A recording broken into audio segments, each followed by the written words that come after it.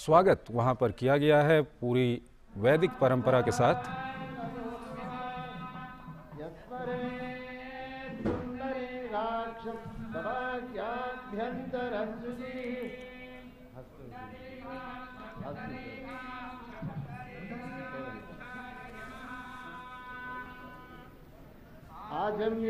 ओम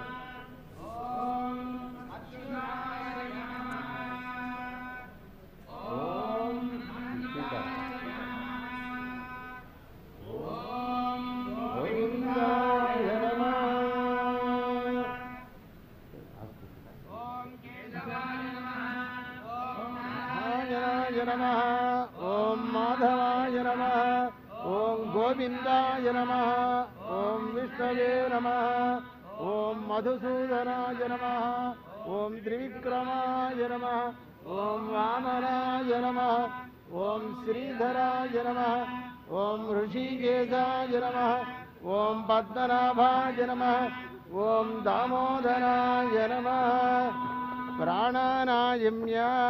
ॐ भूः ॐ भुवः ॐ सुवः ॐ महा ॐ जनः ॐ तपः ॐ सत्यं सवितुर्वरेण्यं भर्गो देवस्य धीमहि धियो यो न प्रचोदयादो मा भोज्यो धीरसामृतं ब्रह्म भूर्भुवस्य वरो। हृदया मङ्गले मुहूर्ते अत्र पृथिव्यां जम्बूद्वीपे भरतवर्षे भरतखण्डे शकाब्जे मेरोर्दक्षिणदिग्भागे श्रीरङ्गस्य उत्तरदिक्प्रदेशे गङ्गाकावेर्योर्मध्यदेशे शोभनस्थले यागमण्डपे समस्तदेवता भगवद्भागवताचार्यसन्निधौ अस्मिन् वर्तमानव्यावहारिकचान्द्रमानेन श्रीप्रभवादिषष्टिसंवत्सराणां मध्ये श्रीप्लवनामसंवत्सरे उत्तरायणे शिशिरऋतौ माघमासे शुक्लपक्षे पञ्चम्यां शुभतिथौ स्थिरवासरे शुभवासरे उत्तराभाद्रनक्षत्रयुक्तायां शुभयोगशुभकरणिष्ठायाम् अस्यां शुभतिथौ। अस्य श्रीभगवतो देवदेवोत्तमस्य, श्रीमदखिलाण्डकोटिब्रह्माण्डनायकस्य, देवदेवस्य, जगत्कुटुम्बिनः जगद्रक्षणार्थमवतीर्णस्य श्रीसीतालक्ष्मणहनुमत्समेत श्रीरामचन्द्रस्वामिनः कृपया श्रीमद्वेदमार्गप्रतिष्ठापनाचार्याणाम् उभयवेदान्तप्रवर्तकाचार्याणां श्रीमत्परमहंसपरिव्राजकाचार्याणां श्री श्री श्री त्रिदण्डिजन श्रीमन्नारायण रामानुजय्यर्स्वामि श्रीचरणानां मङ्गलासाधनपूर्वकं विश्वशान्त्यर्थं सर्वामयनिवारणार्थम् आचार्यसेवाकैङ्कर्यरूपेण सङ्कल्पित अष्टोत्तरशतदिव्यदेशप्रतिष्ठा प्रयुक्त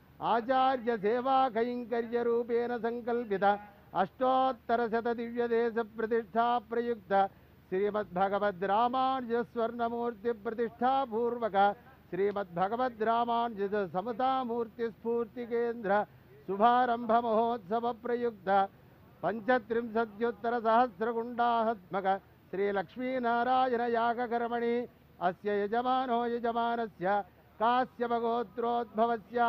काश्यपगोत्रोद्भवस्य अनुराधानक्षत्रे वृश्चिकरासौ जातस्य नरेन्द्रदामोदरदास्मोडी नामधेयस्य सह कुटुम्बस्य च क्षेमस्थैर्यधैर्यवीर्यविजयाभयायुरारोग्य ऐश्वर्यधनधान्यपुत्रभूत्राभिवृद्ध्यर्थं समस्तसन्मङ्गलावाप्त्यर्थम् इष्टकाम्यार्थपरिसिद्ध्यर्थं, सर्वकार्येषु विजयप्राप्त्यर्थं, सार्वभौमाधिकारसिद्ध्यर्थं सङ्कल्पित एकान्निक एककुण्डात्मक श्रीविश्वक्सेनेष्ट्याराधनकर्म सम्पूर्णतासिद्ध्यर्थं सकलदेवता तृप्त्यर्थं पूर्णाहुतिहोमं करिष्ये ॐ हिरण्यगर्भः समवर्तपतिरेकासीत् सदाधारपृथिवीं यामुदेम तस्मै देवाय हविषा विधेम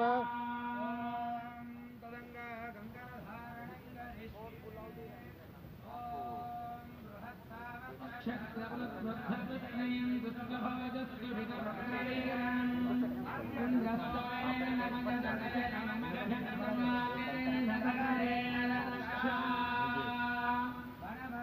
वनमालेकदेशाग्रे श्रीलक्ष्मीजन्मगे श्रीनारायणो विष्णुः आदयो विरक्ष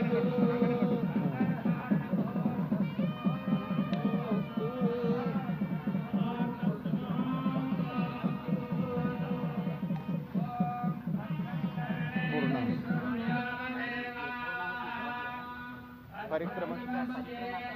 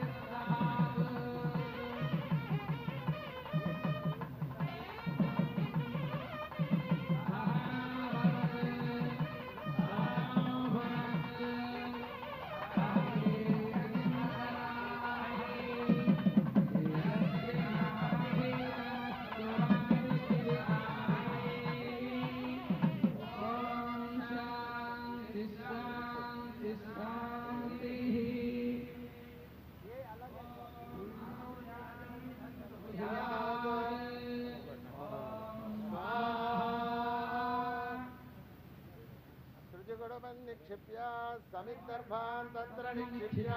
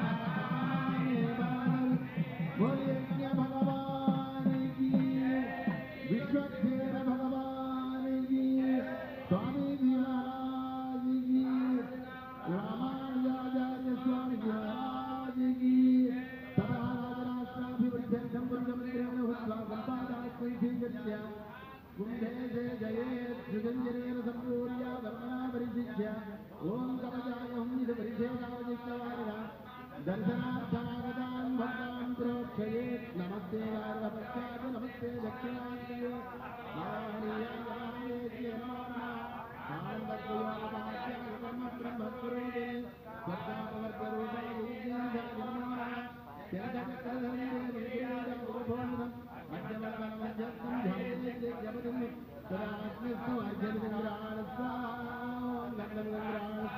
ॐ पुष्पविन्द्राय स्वाहा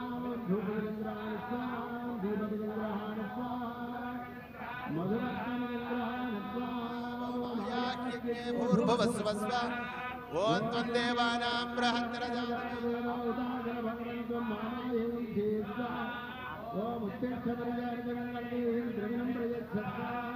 ओम बदनं यज्ञो भूर्भुवस्वस्व ओम अधिदेन्द्र मन्दस्था अनुमदेन्द्र मन्दस्था सरस्वतेन्द्र मन्दस्था देवभवता प्रासायि यस्य स्मृत्या जनामो యూరం సంపూర్ణదా వ్యాధి సద్యో వందే తమచ్యుతం మంత్రహీనం క్రియాహీనం భక్తిహీనం హుతాసన యద్యుతంతమయా దేవ పరిపూర్ణం తదస్తుతే అనేన యథా సంకల్పితోమేన భగవాన్ సర్వాత్మక అగ్నిస్థ శ్రీమన్నారాయణ ప్రీయత ఇత్యక్షతోదకం విసృజేత్ ఆసనాద్యంతపూర్ణాంతం హవనం యన్మయా కృతం ద్రవ్యహీనం క్రియాహీనం మంత్రహీనమభక్తికం तत्सर्वं क्षम्यतां देवदीनं मामात्मसात् कुरु। सुप्रीतः सुप्रसन्नो वरदो भवतु, साष्टाङ्गं प्रणम्य प्रवरमुच्चरेत्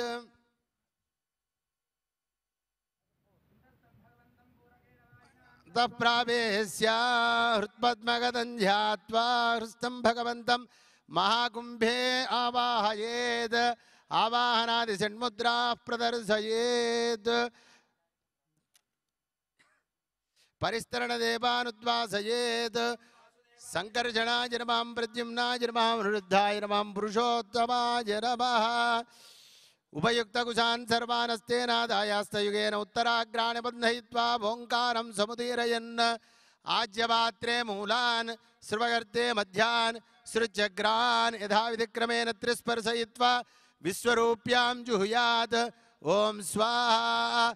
परिधिदेवानुद्वासयेत्। ॐ श्रीधराय नमः यग्रीवाय नमः, नृसिंहाय नमः। यथास्थानमुद्वासयामि। दक्षिणोत्तरपरिधीन् मध्यमपरिधिं प्रणवेन, उपस्पृशन्, ओङ्कारं समुदीरयन्, परिधित्रयं जुह्यात्।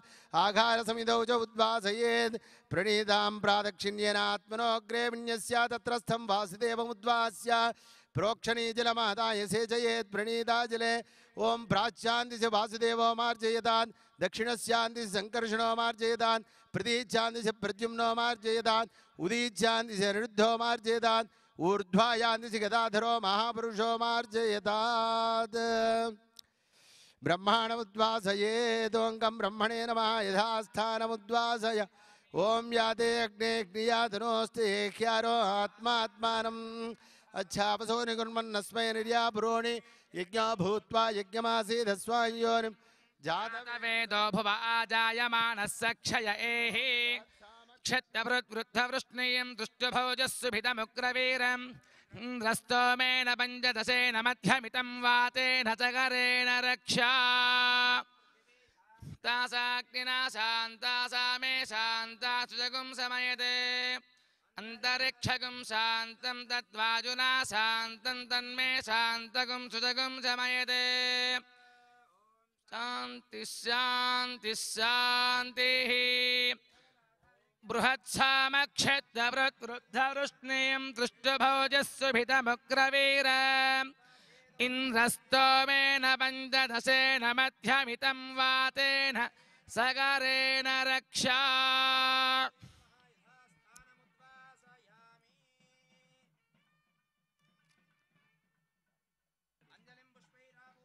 भगवन्तं प्रार्थयेत्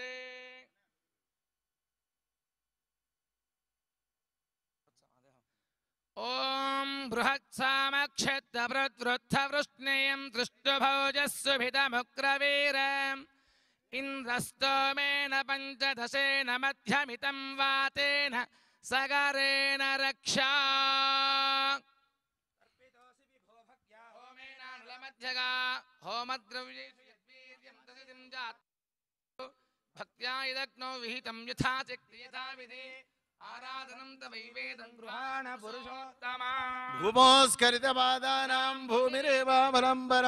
त्वयि विप्रतिपन्नानां त्वमेव शरणं विभु।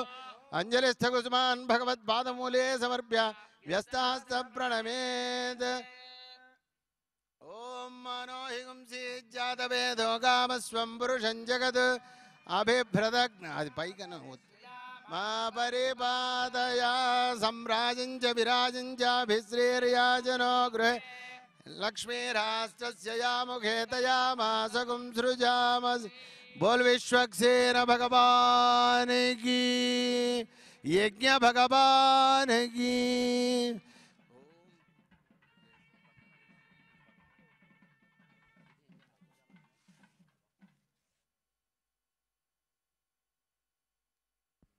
ॐ यज्ञेन यज्ञमयजन्त देवास्तानि धर्माणि प्रथमान्यासन्। ते हनाकं महिमानः सजन्ते यत्र पूर्वे साध्याः सन्ति देवाः।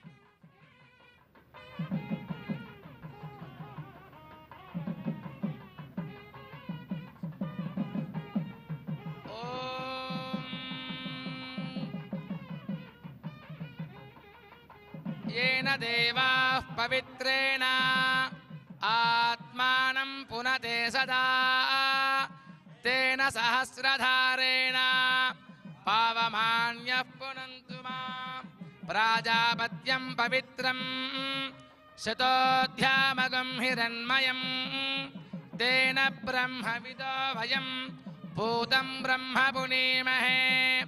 इन्द्रः सुनीति सह मा पुनातु सोमस्त्वस्या वरुणः समीच्या।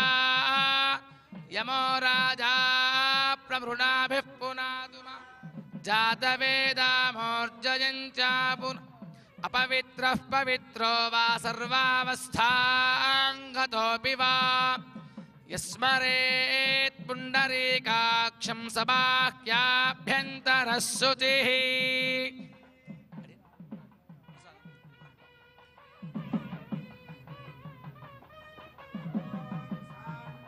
यं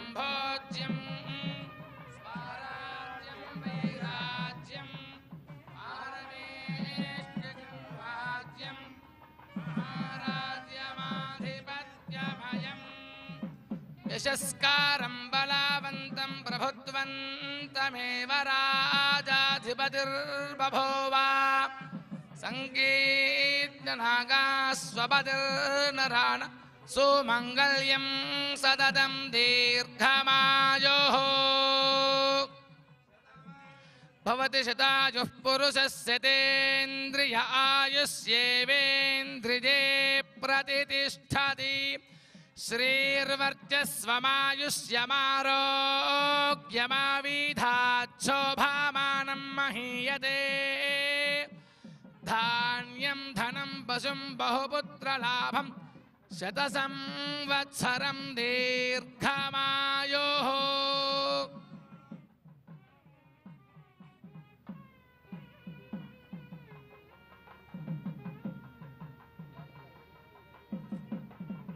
शतं जीवशरदो वर्धमान इत्यभिनिगमो भवति शतमिति शतं दीर्घमायुः जायमानोऽह्नाङ्केतुरुषसामेत्यग्रे भागं देवेभ्यो विदधात्याजन् प्रचन्द्रमास्तिरति दीर्घमायुः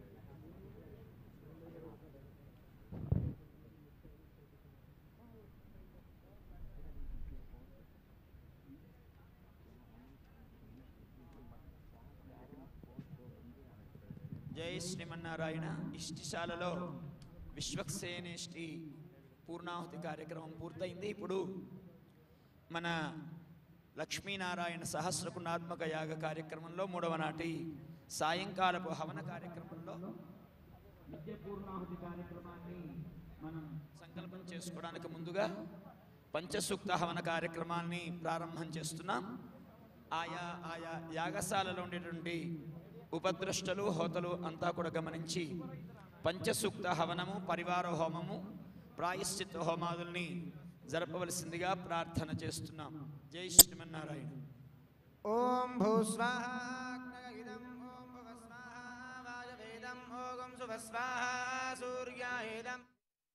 ఓం ॐ भूर्भुवस्वः ओम् भूर्ववस्व प्रजापदगविरम् ओमदिदे हनुमदेन्वमग्स्थाः सरस्वतेन्वस्था देवगविम्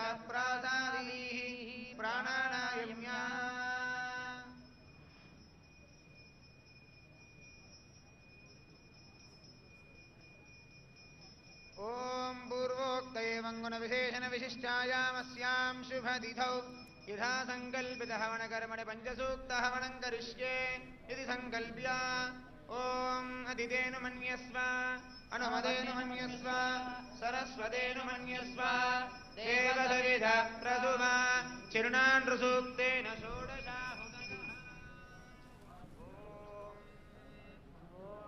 सहस्रशीर्षा पुरुषः सहस्राक्षः सहस्रपात् स भूमिम् विश्वतो भृत्वा अद्य तिष्ठद्दशाङ्कुलज्ञ स्वाहा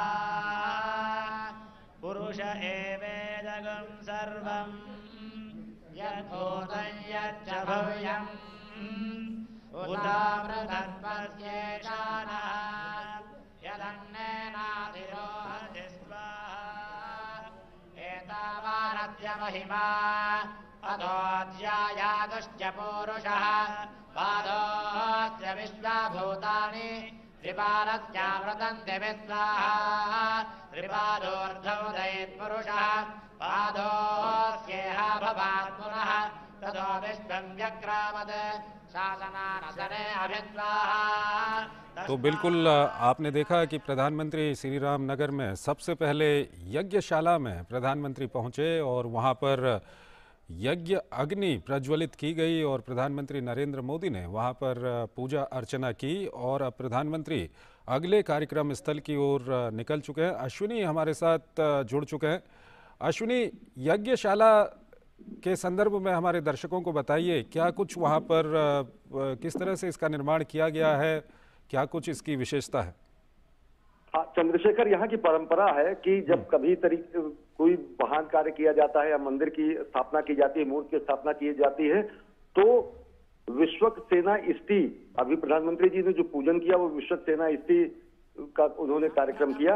यहाँ पर 144 यज्ञशालाओं में 114 यज्ञ अनुष्ठान किए जा रहे हैं और 1035 होमकुंड बनाए गए हैं। 12 दिनों तक ये पूरा उत्सव चल रहा है। प्रधानमंत्री नरेंद्र मोदी जिस रूप में यहाँ पहुँचे हैं और प्रधानमंत्री नरेंद्र मोदी पहुँच चुके हैं जो मुख्य स्थल है, जहाँ पर मूर्ति का अनावरण होना है 216 फीट ऊँची रामानुजाचार्य जी की मूर्ति का तो प्रधानमंत्री नरेंद्र मोदी इस समय पहुँच चुके हैं इस भव्य दिव्य धाम में, जहाँ पर रामानुजाचार्य के मूर्ति का लोकार्पण वो करेंगे। और मूर्ति ये अपने आप में विशिष्ट है, और विशिष्टाद्वैतवाद के प्रवर्तक रामानुजाचार्य जी रहे, जिन्होंने शंकर के अद्वैत वेदांत से आगे विशिष्टाद्वैत की स्थापना की। और इस समय प्रधानमंत्री नरेंद्र मोदी पहुँच चुके हैं श्री रामनगर स्थित इस दिव्य धाम पर, जहाँ पर 216 फीट ऊँची प्रतिमा बनाई गई है। और अब से कुछ ही क्षणों बाद इसका लोकार्पण होगा समूचे राष्ट्र के लिए, समूची मानवता के लिए। और इससे पहले प्रधानमंत्री ने यज्ञशाला में पहुँच के जो हमारी परंपरा है और दक्षिण भारत के मंदिरों की जो परंपरा है कि विश्वक सेना स्त्री यानी वैकुंठ धाम के जो जो प्रहरी हैं, उनकी आराधना के बाद ही कोई मंगल कार्य शुरू किया जाता है। इस समय प्रधानमंत्री नरेंद्र मोदी पहुँच चुके हैं। समता की मूर्ति के स्थल पर श्री रामनगर स्थित रामानुजाचार्य आश्रम से सटा हुई हुआ ये मूर्ति और यहाँ पर प्रधानमंत्री नरेंद्र मोदी का स्वागत कर रहे हैं।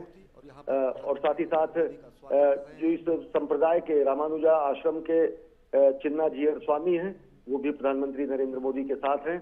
इसके पहले यज्ञशाला में उन्होंने अ, विश्वक सेना इष्टि अनुष्ठान का समापन भी कराया और यहाँ की परंपरा के अनुसार प्रधानमंत्री नरेंद्र मोदी का अभिवादन किया। वैदिक मंत्रोच्चार के बीच में उनको मंत्रोच्चार के बीच में उनको अभिवादन करने के बाद अब प्रधानमंत्री पहुँच चुके हैं मुख्य कार्यक्रम स्थल जहाँ पर जहाँ पर प्रधानमंत्री नरेंद्र मोदी का स्वागत अभिनंदन किया जा रहा है। यहाँ उपस्थित लोगों के साथ। चिन्ना जी और स्वामी इस मूर्ति के प्रणेता रहे हैं, संकल्पना उन्होंने साकार की। स्टेचू ऑफ़ इक्वलिटी इसे कहा जाता है। समता की मूर्ति इसे कही जाती है। समता की मूर्ति इसलिए कही जाती है कि जो सनातन संस्कृति का ममत्व और समत्व का सिद्धांत है, उसकी अभिव्यक्ति यहाँ पर की गई है। रामानुजाचार्य एक ऐसे संत और समाज सुधारक रहे जिन्होंने इस पूरे उत्तर और दक्षिण के भेद को तो मिटाया ही सनातन संस्कृति को भी शिखर पर पहुँचाया। प्रधानमंत्री नरेंद्र मोदी पहुँच चुके हैं। स्टेचू ऑफ़ इक्वलिटी यानी समता की मूर्ति स्थल पर श्री रामनगर स्थित हैदराबाद से तकरीबन 40 किलोमीटर दूर जीवा आश्रम के नज़दीक और ये परिसर तकरीबन 200 एकड़ में है और जो मुख्य मंदिर है, यह 45 एकड़ क्षेत्र में पहुँच बना हुआ है। प्रधानमंत्री नरेंद्र मोदी इस समय मंदिर की तरफ़ अग्रसर हैं और विशिष्ट बात यह है कि विशिष्टाद्वैतवाद के प्रवर्तक को समर्पित ये मंदिर और साथ ही साथ ये मूर्ति आध्यात्मिक चेतना का केंद्र बिंदु होगा एक ऐसे सनातन संस्कृति के पुरोधा और महापुरुष के लिए जिन्होंने समाज के सभी वर्गों को, वर्ण, संप्रदाय, जाति, रूढ़ियाँ सभी को तोड़ते हुए, भगवान और भक्त के बीच के सभी अवरोधों को हटाते हुए समानता के सिद्धांत का प्रतिपादन किया आज से एक हज़ार साल पहले।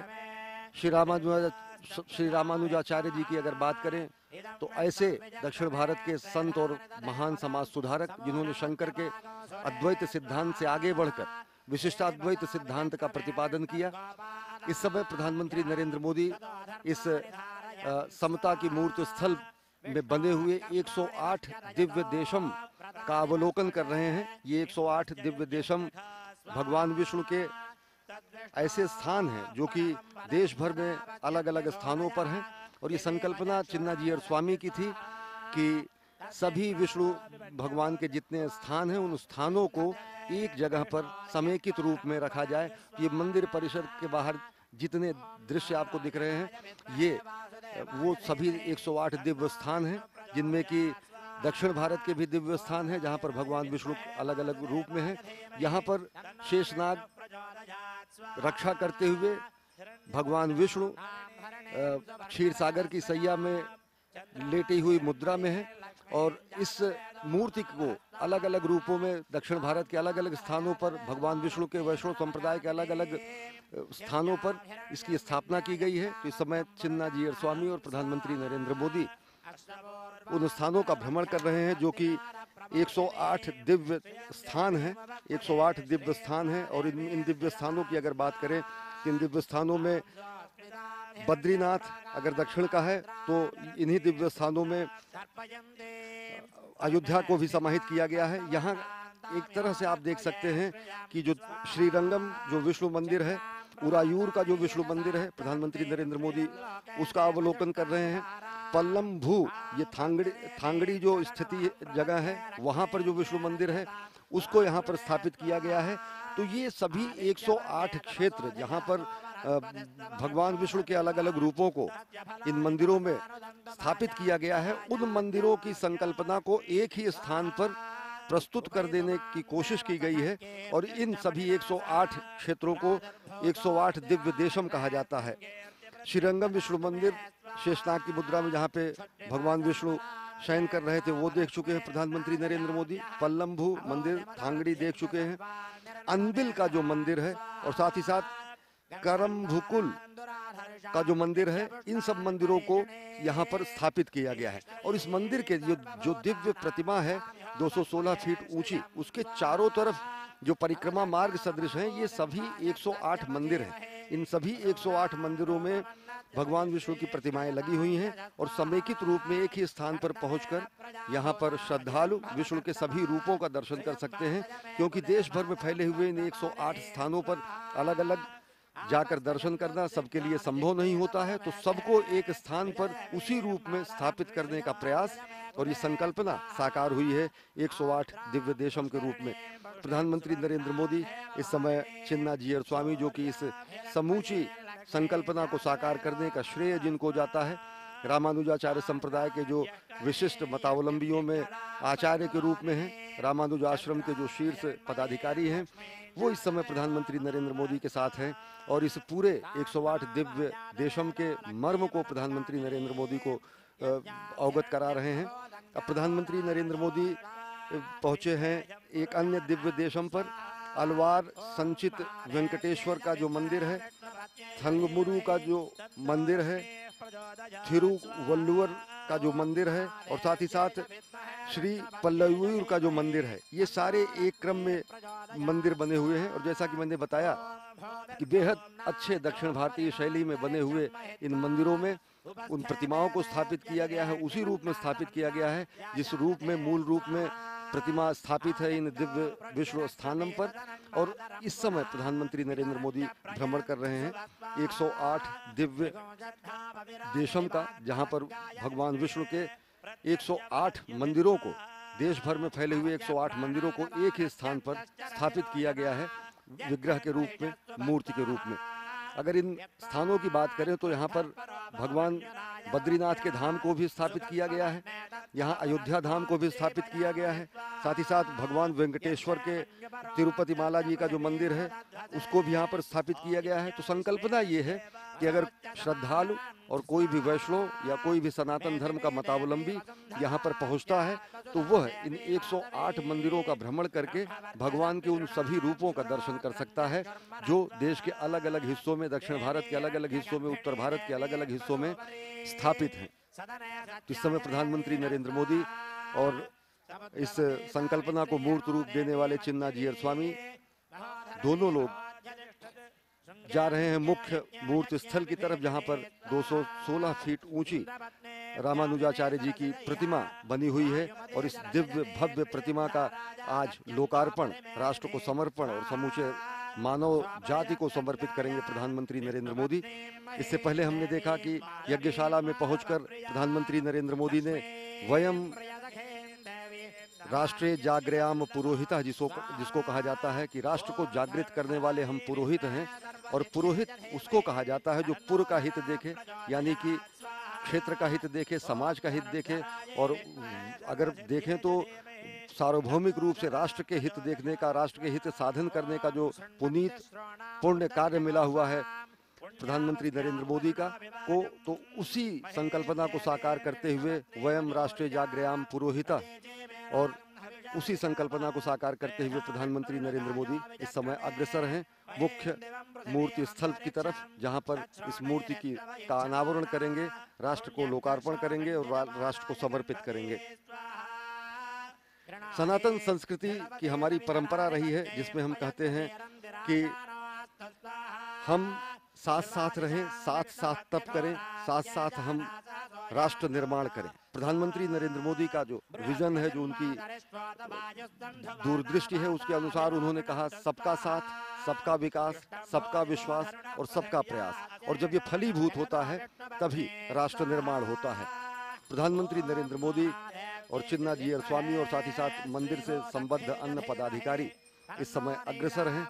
मुख्य मूर्ति स्थल की तरफ़, जहाँ पर आज समता की मूर्ति का अनावरण होगा, समता की मूर्ति का लोकार्पण होगा और साथ ही साथ देश को और समूचे विश्व को और मानवता को एक नए आध्यात्मिक केंद्र के रूप में प्रदान करेंगे प्रधानमंत्री नरेंद्र मोदी, क्योंकि वैष्णव परंपरा की अगर बात करें तो वैष्णव परंपरा में संत रामानुजाचार्य ने सबसे पहले, आज से हज़ार साल पहले 1017 में उनका आविर्भाव हुआ और ग्यारह में उनका महाप्रयाण हुआ। इस 120 वर्ष के ज़िंदगी में, इस वीर 120 वर्ष के जीवन काल में उन्होंने समाज की सभी रूढ़ियों पर प्रहार करने का कार्य किया और समभाव का मंत्र उन्होंने दिया। समत्व और ममत्व का जो मंत्र है सनातन संस्कृति का, उसको उन्होंने स्थापित किया और प्रधानमंत्री नरेंद्र मोदी इस समय, आप देख सकते हैं कि कितना बेहद विहंगम दृश्य था। अनेक अनेक मंदिरों के जो गोपुर थे, मंदिर के जो स्थान थे, वो पूरे के पूरे इस मूर्ति के चारों तरफ़ 108 रूपों में उनको स्थापित किया गया है, जो कि इस पूरे धाम को, पूरे इस क्षेत्र को बेहद दिव्य और भव्य बनाते हैं। कल्पनातीत है ये निर्माण। और इस समय प्रधानमंत्री नरेंद्र मोदी अग्रसर हैं मुख्य मूर्ति की तरफ़, जहाँ पर वो पहुंचकर आराधना करेंगे और साथ ही साथ अनावरण करेंगे इस भगवान रामानुजाचार्य, जो कि वैष्णव धर्म के महान संत, समाज सुधारक और विशिष्टाद्वैत के जो प्रवर्तक रहे, उनके विराट व्यक्तित्व, विराट कृतित्व के मुताबिक विराट प्रतिमा का आज लोकार्पण होगा। जो कि समूची संस्कृति के लिए, सनातन धर्म के लिए बेहद उपहार और अविस्मरणीय क्षण है आज के लिए। देख सकते हैं कि विविध रंगों से सजाया गया है और इस पूरे परिसर को अगर आप देखें तो लाखों फूलों की प्रजातियों से इसे सुसज्जित किया गया है। और ये पूरा परिसर जो आप देख रहे हैं, ये पूरा कॉरिडोर चारों तरफ़ अगर देखें तो 108 मंदिर बने हुए हैं 108 दिव्य देशम बने हुए हैं और इनके मध्य में 216 फीट ऊँची रामानुजाचार्य जी की प्रतिमा है। वो प्रतिमा जो कि चौवन फीट भद्रवेदी, चौवन फीट ऊँची भद्रवेदी पर है। और इस प्रतिमा को भी अगर देखें तो ये बेहद नवीन जो टेक्नोलॉजी है जो तकनीक है अद्यतन तकनीक और हमारी आध्यात्मिक शक्ति दोनों का सम्मिश्रण है। और इस अद्यतन शक्ति और आध्यात्मिक शक्ति की जो बात प्रधानमंत्री करते हैं जो प्रधानमंत्री जब कहते हैं कि हम चिर पुरातन और चिर नूतन नव नूतन और चिर पुरातन इन सभी चीज़ों को वैज्ञानिक दृष्टिकोण से और तार्किक दृष्टिकोण से उनकी स्थापना करते हुए एक समग्र समावेशी समाज का निर्माण करें और वही उनके सिद्धांतों में भी दिखता है जब वो कहते हैं कि सबका साथ, सबका विकास, सबका विश्वास और सबका प्रयास। और यहाँ पर आज एक संकल्पना मूर्त रूप होती दिख रही है, तब जबकि यहाँ पर वैष्णव धर्म के महान संत, समाज सुधारक, विशिष्टाद्वैतवाद के प्रवर्तक, रामानुजाचार्य के विराट मूर्ति का, विराट व्यक्तित्व एवं कृतित्व को कार्यांजलि देते हुए विराट मूर्ति का आज अनावरण करने के लिए प्रधानमंत्री नरेंद्र मोदी अग्रसर हैं।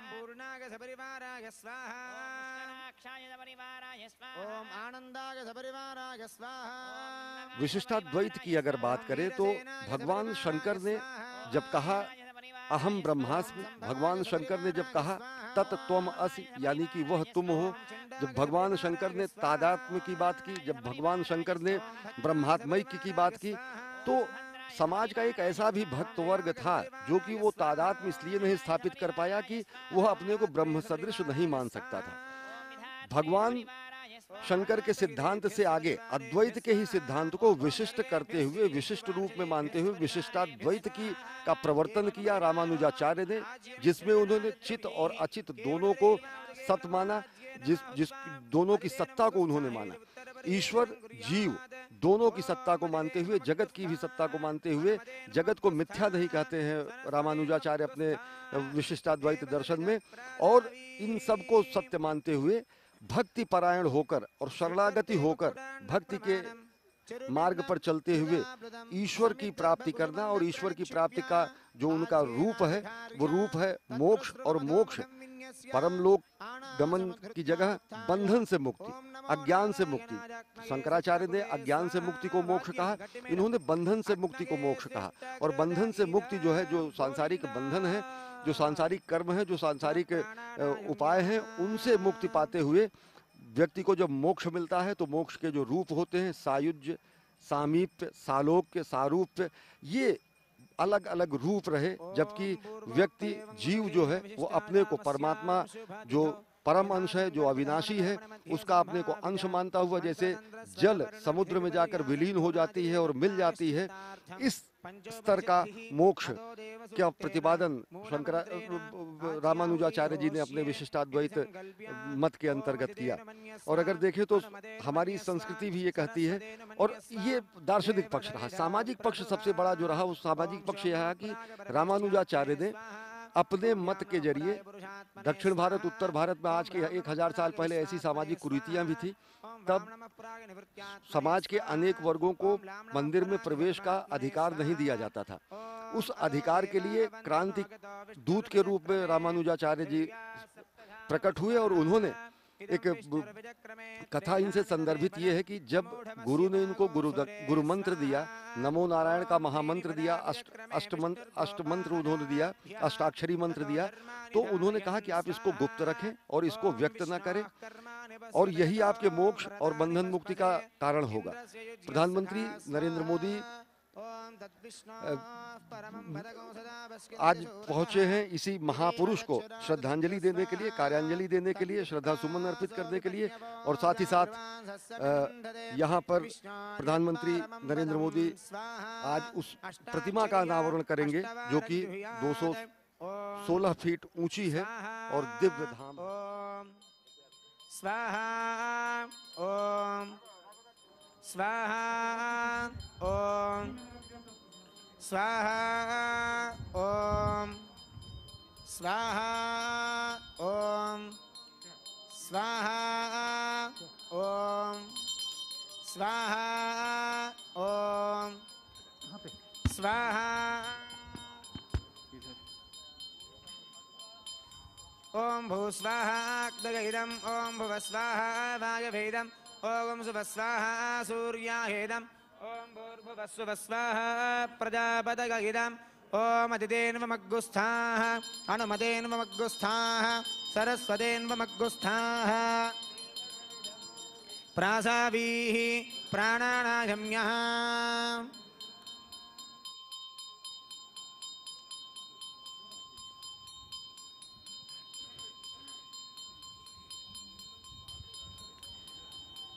ॐ पूर्वोक्त एवं गुणविशेषणविशिष्टायाम्।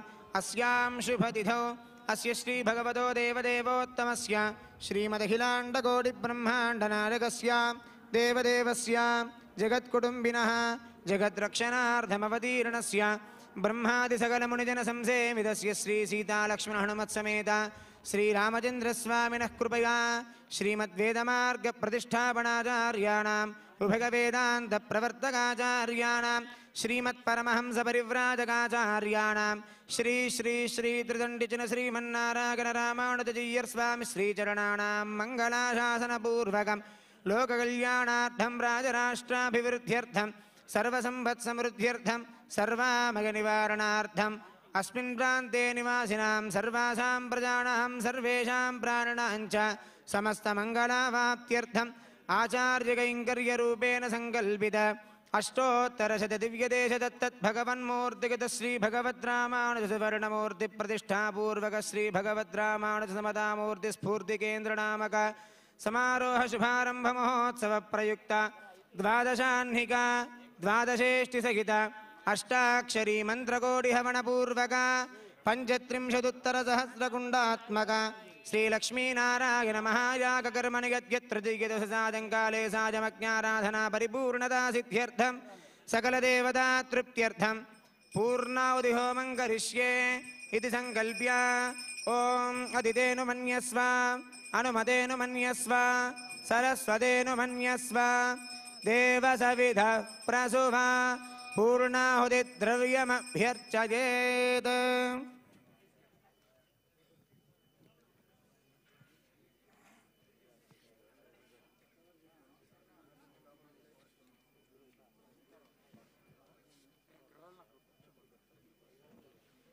జై శ్రీమన్నారాయణ.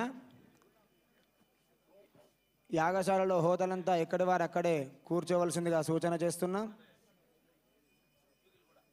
ఋత్వికులు కూడా మీ మీ స్థానాలలో కూర్చొని ఉండవలసిందిగా సూచన. జై శ్రీమన్నారాయణ.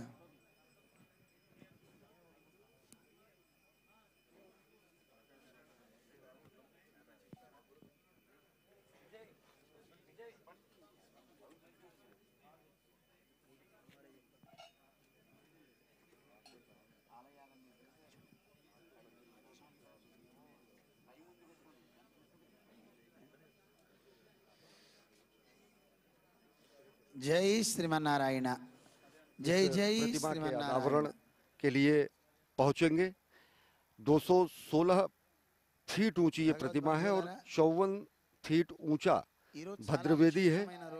और ये भद्रवेदी जो है ये भद्रवेदी इसलिए वहाँ पर बनाई गई है कि जिससे इस भव्य आकार को और दिव्य दिया जा सके। आप देख सकते हैं प्रधानमंत्री नरेंद्र मोदी धीरे धीरे इस प्रतिमा के शीर्ष बिंदु तक पहुँचने वाले हैं उस शीर्ष बिंदु पर पहुँचने के बाद वहाँ पर पूजा अर्चना करेंगे। पूजा अर्चना करने के साथ साथ वहाँ पर आराधना करेंगे प्रधानमंत्री नरेंद्र मोदी और इस मूर्ति को अनावर लोकार्पण करेंगे समूचे राष्ट्र के लिए, समूची मानवता के लिए।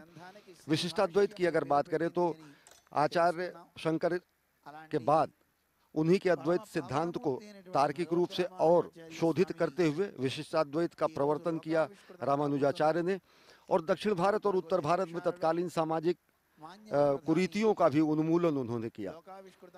रामानुजाचार्य जी की ही शिष्य परंपरा में रामानंद रहे। रामानंद जी की ही शिष्य परंपरा में कबीर रैदास और तुलसीदास जैसे महान विभूतियों का नाम है। और अगर देखें तो इन पूरे के पूरे भारतीय इतिहास में भक्ति आंदोलन की अगर जो बात करते हैं उसके प्रवर्तक के रूप में भी रामानुजाचार्य को देखा जा सकता है। और बेहद विहंगम दृश्य सूर्य अस्ताचल की ओर समूचा नभ इस समय इस अद्भुत विहंगम क्षण का साक्षी बनने के लिए समूची समूचा क्षेत्र यहाँ पर हज़ारों की संख्या में लोग मौजूद हैं और विश्व कल्याण की कामना करते हुए वसुधैव कुटुंबकम की कामना को साकार करते हुए संगच्छध्वम संबद्धध्वम सम वो मनांसी जानताम की संकल्पना को साकार करते हुए और अंततः राष्ट्र निर्माण में सबका साथ सबका विकास सबका विश्वास और सबका प्रयास के सिद्धांत को चरितार्थ करते हुए इस समय प्रधानमंत्री नरेंद्र मोदी धर्मपरायण स्वरूप में पहुँच रहे हैं। विशिष्टाद्वैतवाद के प्रवर्तक संत, महापुरुष, महान समाज सुधारक रामानुजाचार्य की प्रधानमंत्री इस समय भद्रवेदी पर पहुँच चुके हैं और आप देख सकते हैं कि किस तरीके से 36 हाथियों को इस भद्रवेदी पर स्थापित किया गया है और इस स्वर्ण कमल जैसी सदृश पंखुड़ियों पर भगवान की ये पूरी मूर्ति है। और भगवान रामानुजाचार्य यहाँ पर पद्मासन की मुद्रा में है और विशिष्ट मुद्रा उनकी जो है वो आराधना करती हुई मुद्रा है और अपने आप में ये मूर्ति और ये पूरा का पूरा प्रांगण, पूरा का पूरा परिसर विशिष्ट रूप में अलौकिक और आध्यात्मिक संचेतना से आपको भर देगा यहाँ पर आने पर और भगवान रामानुजाचार्य की जो वहाँ पर प्रतिरूप है, इस मूर्ति के नीचे एक छोटा प्रतिरूप रखा गया है। उसकी आराधना कर रहे हैं और पुष्पांजलि अर्पित कर रहे हैं। कार्यांजलि के रूप में राष्ट्र निर्माण करते हैं प्रधानमंत्री नरेंद्र मोदी। धर्म परायण रूप में भारत भारतीयता के ध्वजवाहक के रूप में, सनातन संस्कृति के संवाहक के रूप में इस समय पुष्पांजलि अर्पित कर रहे हैं रामानुजाचार्य जी को, जो कि भारत में सामाजिक कुरीतियों को समाप्त करने वाले, समता के सिद्धांत को स्थापित करने वाले और साथ ही साथ सभी का एक समान ईश्वर और भक्त के बीच के सभी अवरोधों को समाप्त करने वाले क्रांति दूत के रूप में रहे रामानुजाचार्य।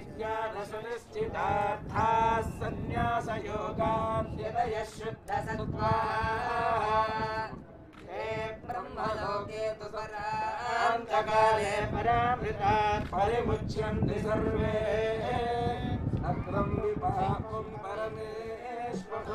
यत्पुण्डरीकं पुरमध्यसकृस्वम् तत्राविदर्भं गगनं विशोगस्तस्मिन् यदन्तस्तदुपासितव्यम् यद्वेदादौ स्वरप्रोक्तो वेदान्ते च प्रतिष्ठितः। तस्य प्रकृतिलीनस्य यः परस्य महेश्वरः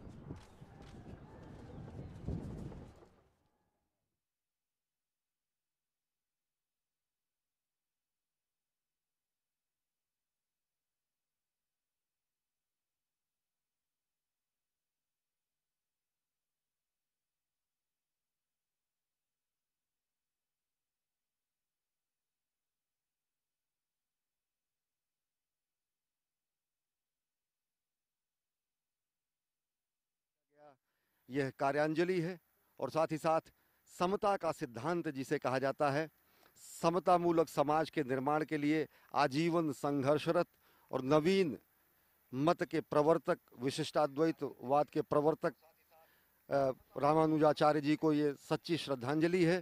और साथ ही साथ आज जबकि समाज में अभी भी अनेक रूढ़ियाँ हैं और अनेक स्थितियाँ ऐसी हैं तो उनके लिए उन रूढ़ियों या फिर सामाजिक कुरीतियों को मद्देनज़र रामानुजाचार्य जी की शिक्षाएँ, उनके उपदेश, उनके सिद्धांत, जैसे एक हज़ार वर्ष पहले प्रासंगिक और समीचीन थे, वैसे ही आज हैं और निश्चित तौर से ममत्व और समत्व का सिद्धांत समूची मानवता के लिए वर्षों वर्षों तक, हज़ारों वर्षों तक, आने वाले हज़ारों वर्षों तक वो उसी तरीके से प्रासंगिक रहेंगे। इस समय प्रधानमंत्री नरेंद्र मोदी पहुँचे हैं।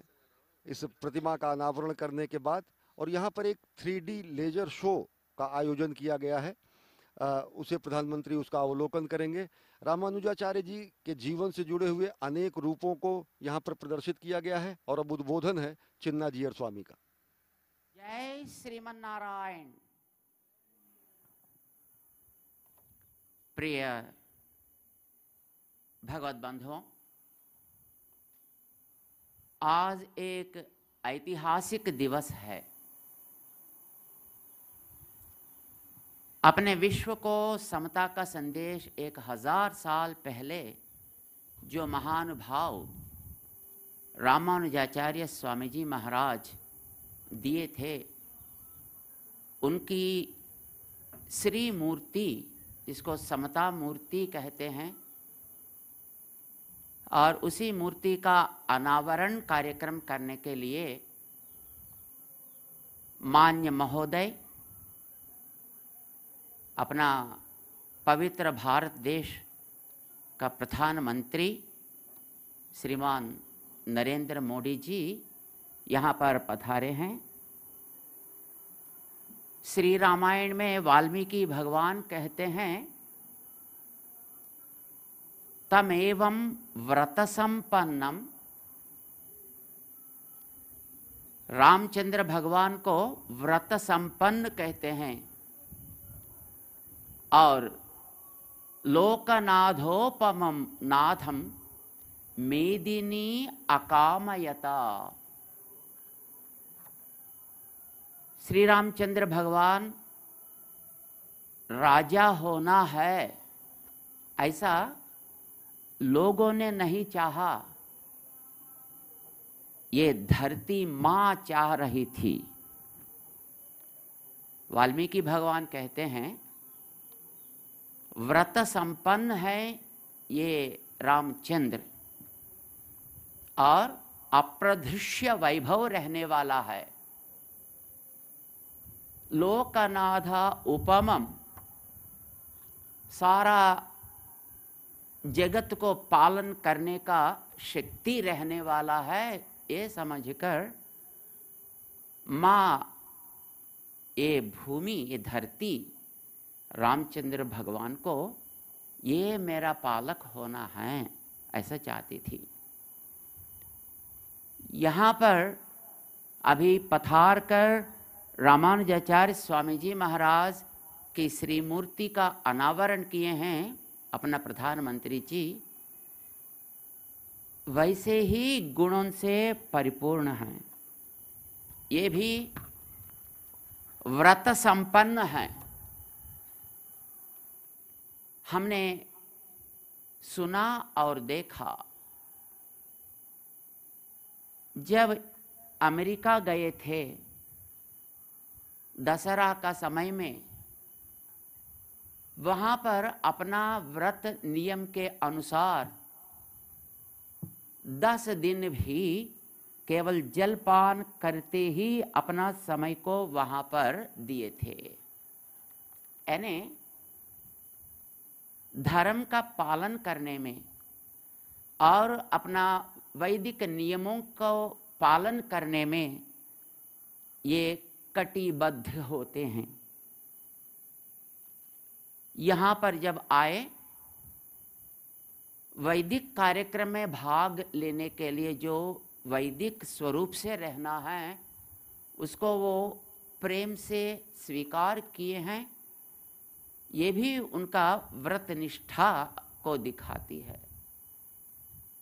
और श्री रामचंद्र भगवान अप्रधुष्य वैभव रहने वाला है, यानी पराक्रम से जो जो काम करना है, उसको अवश्य ही करके दिखा सकेंगे।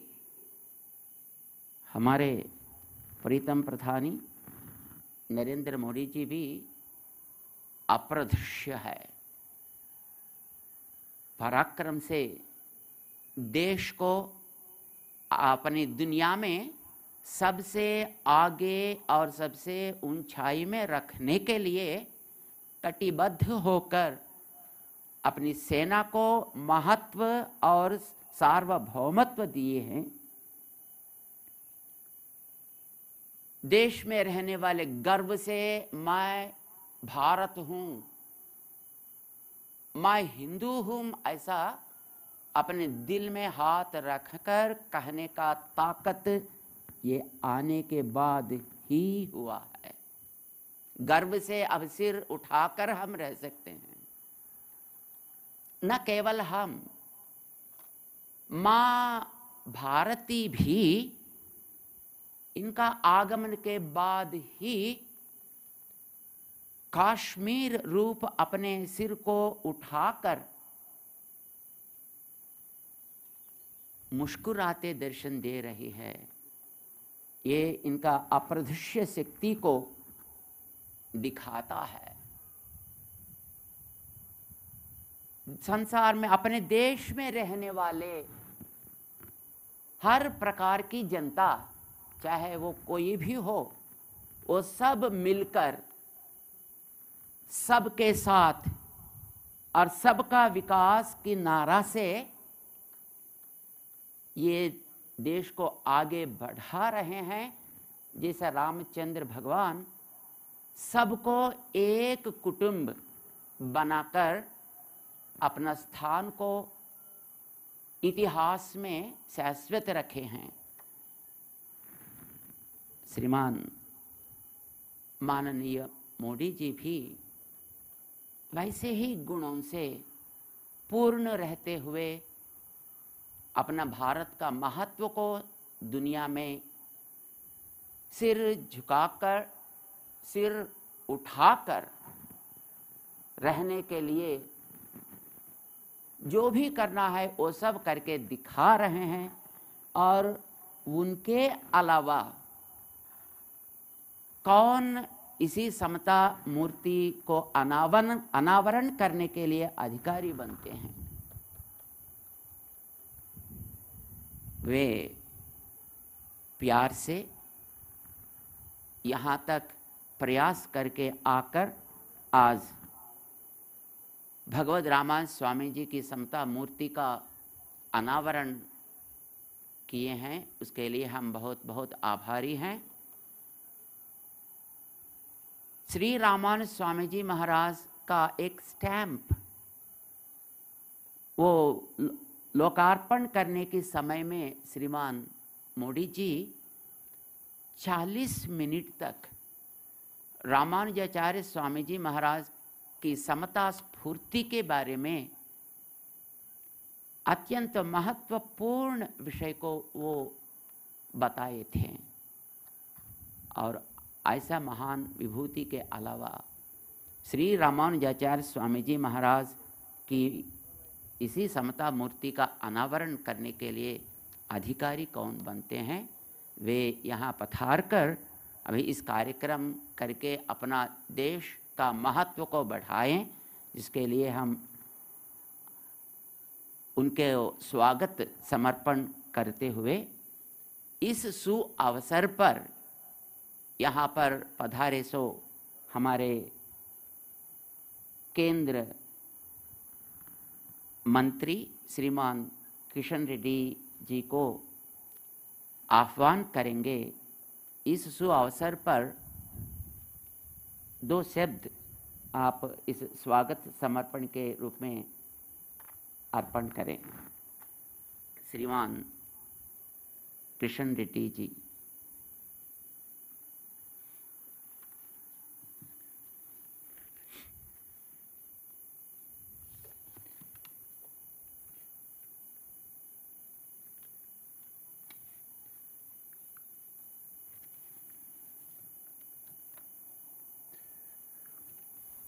శ్రీ శ్రీ శ్రీ త్రిదండి చిన్నసియర్ స్వామీజీ పాదపద్మాలకు నమస్కరిస్తూ ఈ యొక్క పూజా కార్యక్రమంలో రామానుజ స్వామి యొక్క విగ్రహ ఆవిష్కరణకు వచ్చినటువంటి గౌరవనీయులు భారత ప్రధానమంత్రి శ్రీ మాననీయ నరేంద్ర మోడీజీ రాష్ట్ర గవర్నర్ శ్రీమతి తమిళసాయి గారు పెద్దలు రాజేశ్వరరావు గారు. ఇంతంత అద్భుతంగా ఈ కార్యక్రమ నిర్వహణలో పాల్గొంటున్నటువంటి గౌరవ పెద్దలు అతిథులు స్వాములు పూజారులు మిగతా కార్యకర్తలు అందరికీ హృదయపూర్వకంగా నమస్కారాలు తెలియజేస్తా ఉన్నాను. సర్వ మానవ సౌభ్రాతృత్వానికి భారతీయ సంస్కృతిలో అనాదిగా వస్తున్నటువంటి మరి ఈ యొక్క ప్రధాన లక్షణము. ఈ మధ్య మరి కొంతమంది అనేక రకాలుగా ఈ యొక్క సమాజాన్ని విభజించేటువంటి ప్రయత్నం చేస్తున్నటువంటి నేపథ్యంలో కూడా మనం చూస్తున్నాం. సుమారు వెయ్యి సంవత్సరాల క్రితం జన్మించినటువంటి శ్రీ శ్రీ రామానుజ స్వామి గారు ఆ రోజే మరికు సందేశం ఇవ్వడం జరిగింది. ప్రజలందరూ కూడా ఒకటే భక్తులందరూ కూడా ఒకటే వాళ్ళలో ఏ రకమైనటువంటి తారతమ్యం ఉండడానికి వీలు లేదు అనే విషయాన్ని దైవం ముందు అందరూ సమానులే మానవ సేవే మాధవ సేవ అని ఆ రోజు రామానుజ స్వామి గారు చెప్పారు. ఇప్పుడు కూడా అది పూర్తిగా మనకు వర్తిస్తుంది. ఈ వెయ్యి సంవత్సరాల తర్వాత కూడా ఆయన చెప్పినటువంటి సందేశము మన సమాజానికి ఉపయోగపడతా ఉంది. మనకందరికీ తెలుసు. ఈరోజు ఆయన స్ఫూర్తితో రామానుజస్వామి స్ఫూర్తితో మనమందరం ముందుకెళ్ళాల్సిన అవసరం ఉంది. ఈరోజు శ్రీ శ్రీ శ్రీ చిన్నజయర స్వామి గారు గత ఏడు ఎనిమిది సంవత్సరాలుగా ఒక యజ్ఞంలాగా ఒక తపస్సులాగా అహోరాత్రులు శ్రమించి అనేక మంది భక్తులను ఏకం చేసి ఈ యొక్క గొప్ప కళాఖండాన్ని ఒక పవిత్ర స్థానాన్ని ఈరోజు ఒక ఆధ్యాత్మిక కేంద్రాన్ని ఈరోజు మన ప్రపంచానికి అందించారు. హిందూ సమాజానికి అందించారు. ఈరోజు ప్రపంచంలో ఉన్నటువంటి హిందువులందరూ కూడా ఎంతో సంతోషపడతా ఉన్నారు. ఈ యొక్క దివ్యక్షేత్రాన్ని చూసి ఈ పవిత్ర స్థానాన్ని చూసి ఈ ఆధ్యాత్మిక కేంద్రాన్ని చూసి మనకందరికీ తెలుసు. ఒక చిన్న దేవాలయం నిర్మించాలంటే ఎంత కష్టమవుతుందో.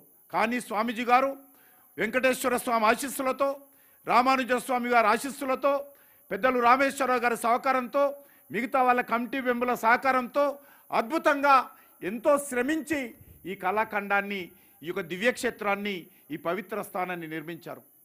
అటువంటి ఈ కేంద్రాన్ని ప్రారంభించడం కోసం ఇంతకుముందు స్వామీజీ చెప్పారు నరేంద్ర మోడీ గారు తప్ప ఇంకెవరు అవుతారు అరువులు అని. వాస్తవమే నరేంద్ర మోడీ గారు చిన్నప్పటి నుంచి కూడా సమాజంలో మార్పు కోసం ప్రయత్నం చేస్తారు. నరేంద్ర మోడీ గారు తన జీవితంలో అనేక రకాల కష్ట సుఖాలను ఎదుర్కొన్నారు. అనేక రకాల ఈ దేశంలో ఉన్నటువంటి సమాజంలో మార్పు రావాలని కోరుకున్నారు. మీకు తెలుసు ఇటీవల అలహాబాద్లో మరి మనకందరికీ తెలుసు గొప్ప కుంభమేళా జరిగింది. ఆ కుంభమేళాలో లక్షలాది మంది ప్రజలు ప్రపంచవ్యాప్తంగా ఉన్నటువంటి హిందువులు సాధులు సంతులు అనేక మంది పాల్గొన్నారు. ఆ రోజు నరేంద్ర మోడీ గారు ఆ కార్యక్రమం చివరన వెళ్ళి ముందు దేవుణ్ణి పూజిస్తూ గంగమ్మను పూజిస్తూ తర్వాత వారు పూజించారు. అక్కడ పారిశుద్ధ కార్మికులకు పాదపూజ చేశారు. పాదపూజ చేశారు. ఆ రకంగా నరేంద్ర మోడీ గారు ఈ దేశంలో ఉన్నటువంటి అన్ని వర్గాల ప్రజలు సమానంగా ఉండాలి. అన్ని వర్గాల ప్రజలు సంతోషంగా ఉండాలని ఈరోజు రామానుజస్వామి యొక్క అడుగుజాడల్లో వారి స్ఫూర్తితో వారి స్పిరిట్తో వారు చూపించినటువంటి బాటలో ఈ దేశాన్ని పరిపాలిస్తున్నారు నరేంద్ర మోడీ గారు. అంతేకాదు ఇటీవల కాశీలో మనం అందరం చూసాం ఒక అద్భుతమైనటువంటి దేవాలయాన్ని మరి అక్కడ దివ్యకాశి భవ్యకాశి అన్నటువంటి ఒక అద్భుతమైనటువంటి దేవాలయాన్ని నిర్మాణం చేయడం జరిగింది. అక్కడ కూడా చాలా తక్కువ సమయంలో ఆ దేవాలయం నిర్మాణం చేసినటువంటి కార్మికులందరినీ కలిసి వాళ్ళతో కలిసి భోజనం చేశారు నరేంద్ర మోడీ గారు. అంటే ఈరోజు మనం అర్థం చేసుకోవాల్సింది రామానుజ స్వామి గారు ఏదైతే చెప్పారో ఆ రోజు ఈరోజు మనమందరం కూడా దాన్ని పాటించాల్సిన అవసరం ఉంది. అదే స్ఫూర్తితో నరేంద్ర మోడీ గారు గత ఏడు సంవత్సరాలుగా పరిపాలన చేస్తూ ఉన్నారు. పేద ప్రజలందరికీ ఈరోజు టాయిలెట్ నిర్మాణం చేయాలి. పేద ప్రజలందరికీ బ్యాంక్ అకౌంట్స్ ఇవ్వాలి. పేద ప్రజలందరూ కూడా ఇటీవల కరోనా వచ్చినప్పుడు రెండు లక్షల అరవై వేల కోట్ల రూపాయలతో పేద ప్రజలందరికీ అన్నం పెట్టారు కేంద్ర ప్రభుత్వం తరఫున. అది ఈరోజు మనకు ఇవన్నీ నిర్వహిస్తూ ఉన్నారంటే రామానుజ స్వామి చూపించినటువంటి బాట వారు ఇచ్చినటువంటి సందేశము మనం ఈరోజు అమలు చేస్తూ ఉన్నాము. దాని అదేవిధంగా ఈరోజు మరి చెన్నైజయ స్వామి గారు అనేకమైనటువంటి ఎడ్యుకేషన్ ఇన్స్టిట్యూషన్స్ విద్యా సంస్థలు ప్రార్థనా మందిరాలు దేవాలయాలు గ్రామీణ ప్రాంతాలలో గిరిజన ప్రాంతాలలో షెడ్యూల్ క్యాస్ట్ బస్తీలలో బడుగు బలైన వర్గాల బస్తీలలోకి వెళ్ళి అందరినీ సమానత్వం కోసం అందరినీ ఐక్యం చేయడం కోసం కృషి చేసినటువంటి గొప్ప మహానుభావుడు. నిజంగా మనకందరికీ ఈరోజు చినేజయ స్వామి గారు మనకందరికీ ఇంత భవ్య మందిర నిర్మాణంలో కీలక పాత్ర పోషించి వారి యొక్క మరి ఆలోచన విధానంతో ఈ క్షేత్రాన్ని మనకు అందించడము నిజంగా మనందరము సంతోషపడాల్సిన అవసరము.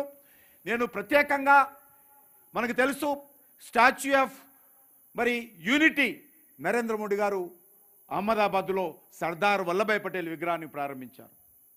ఈరోజు స్టాచ్యూ ఆఫ్ ఈక్వాలిటీ మరి ఇక్కడ మన చిన్నజీర స్వామి గారు ప్రతిష్ఠించారు. మన హైదరాబాద్కు సర్దార్ పటేల్ ఎంత ముఖ్యమో మనకు తెలుసు. మన స్వాతంత్రం రావడం కోసం మూడు రంగుల జెండా ఎగరడం కోసం సర్దార్ పటేల్ ఆ రోజు ఒక సంవత్సరం ఆలస్యంగా మన స్వాతంత్రం తీసుకురావడంలో మనకు సర్దార్ పటేల్ సహకరించారు. ఈరోజు ప్రజలందరూ కూడా సమానంగా ఉండాలి. దేవుడు ముందు అందరూ సమానులే అనేటువంటి భావనతో ఈరోజు ఈ యొక్క రామానుజ స్వామి యొక్క విగ్రహాన్ని స్టాచ్యూ ఆఫ్ ఈక్వాలిటీ పేరుతో ఈరోజు చెనజీయరగా స్వామి గారి యొక్క ఆశీస్సులతో నరేంద్ర మోడీ గారు పూజా కార్యక్రమంతో ఈరోజు మనం ఆవిష్కరించుకోవడం జరిగింది. కాబట్టి ఈ హైదరాబాద్ నగరం రానున్న రోజుల్లో ప్రపంచ చిత్రపటంలో మరి ప్రపంచం సంబంధించినటువంటి పర్యాటక రంగంలో ఒక కేంద్రంగా ఇది నిలవబోతా ఉంది. మరి ఈ సందర్భంగా నేను మరొకసారి స్వామీజీ పాదపద్మాలకు నమస్కరిస్తూ దీన్ని సహకరించినటువంటి ప్రతి ఒక్కరికి నా తరఫున ప్రభుత్వం తరఫున కేంద్ర ప్రభుత్వం తరఫున అందరికీ హృదయపూర్వకమైనటువంటి ధన్యవాదాలు కృతజ్ఞతలు తెలియజేసుకుంటూ దేశ ప్రజలు హిందువులు తప్పకుండా ఈ యొక్క పుణ్యక్షేత్రాన్ని ప్రపంచంలో ఉన్నటువంటి హిందువులందరూ కూడా ఈ పుణ్యక్షేత్రాన్ని దర్శించుకుంటారు. ఈ యొక్క రామానుజ స్వామి యొక్క ఆశీస్సులు పొందుతారు. జీవితంలో ప్రతి ఒక్కరు కూడా ఏ రకంగానైతే కాశీ వెళ్ళాలో ఏ రకంగానైతే వెంకటేశ్వర స్వామి దర్శనం చేసుకోవాలో అదేవిధంగా రానున్న రోజుల్లో ఈ దివ్యక్షేత్రాన్ని ఈ ఆధ్యాత్మిక కేంద్రాన్ని కూడా తప్పకుండా దర్శించుకుంటారు. ఆ దిశలో కేంద్ర ప్రభుత్వం తరఫున అన్ని రకాలుగా దేశంలో ప్రపంచంలో ఉన్నటువంటి హిందువులు రావడం కోసం అన్ని రకాలుగా మేము ప్రయత్నం చేస్తాము. స్వామివారి ఆశీస్సులతో ముందుకు తీసుకెళ్తామని కోరుకుంటూ మరొకసారి ఈ అవకాశాన్ని కల్పించినటువంటి స్వామివారికి మిగతా పెద్దలందరికీ హృదయపూర్వకమైనటువంటి కృతజ్ఞతలు తెలియజేసుకుంటూ సెలవు తీసుకుంటున్నాను. జై శ్రీమన్నారాయణ!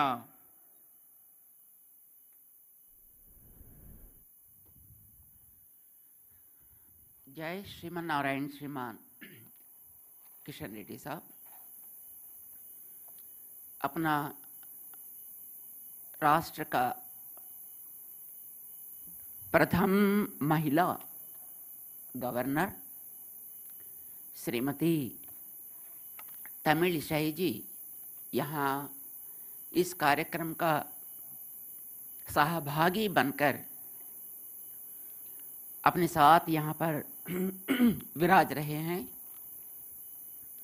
उनको भी हम स्वागत समर्पण करते हुए हमारे प्रीतम प्रधानी श्रीमान नरेंद्र मोदी जी से हम अनुरोध करेंगे, इस समता मूर्ति का अनावरण सु अवसर पर वे समाज को और दुनिया को संबोधित करें और प्रेरणा दें। प्रीतम श्रीमान नरेंद्र मोदी जी।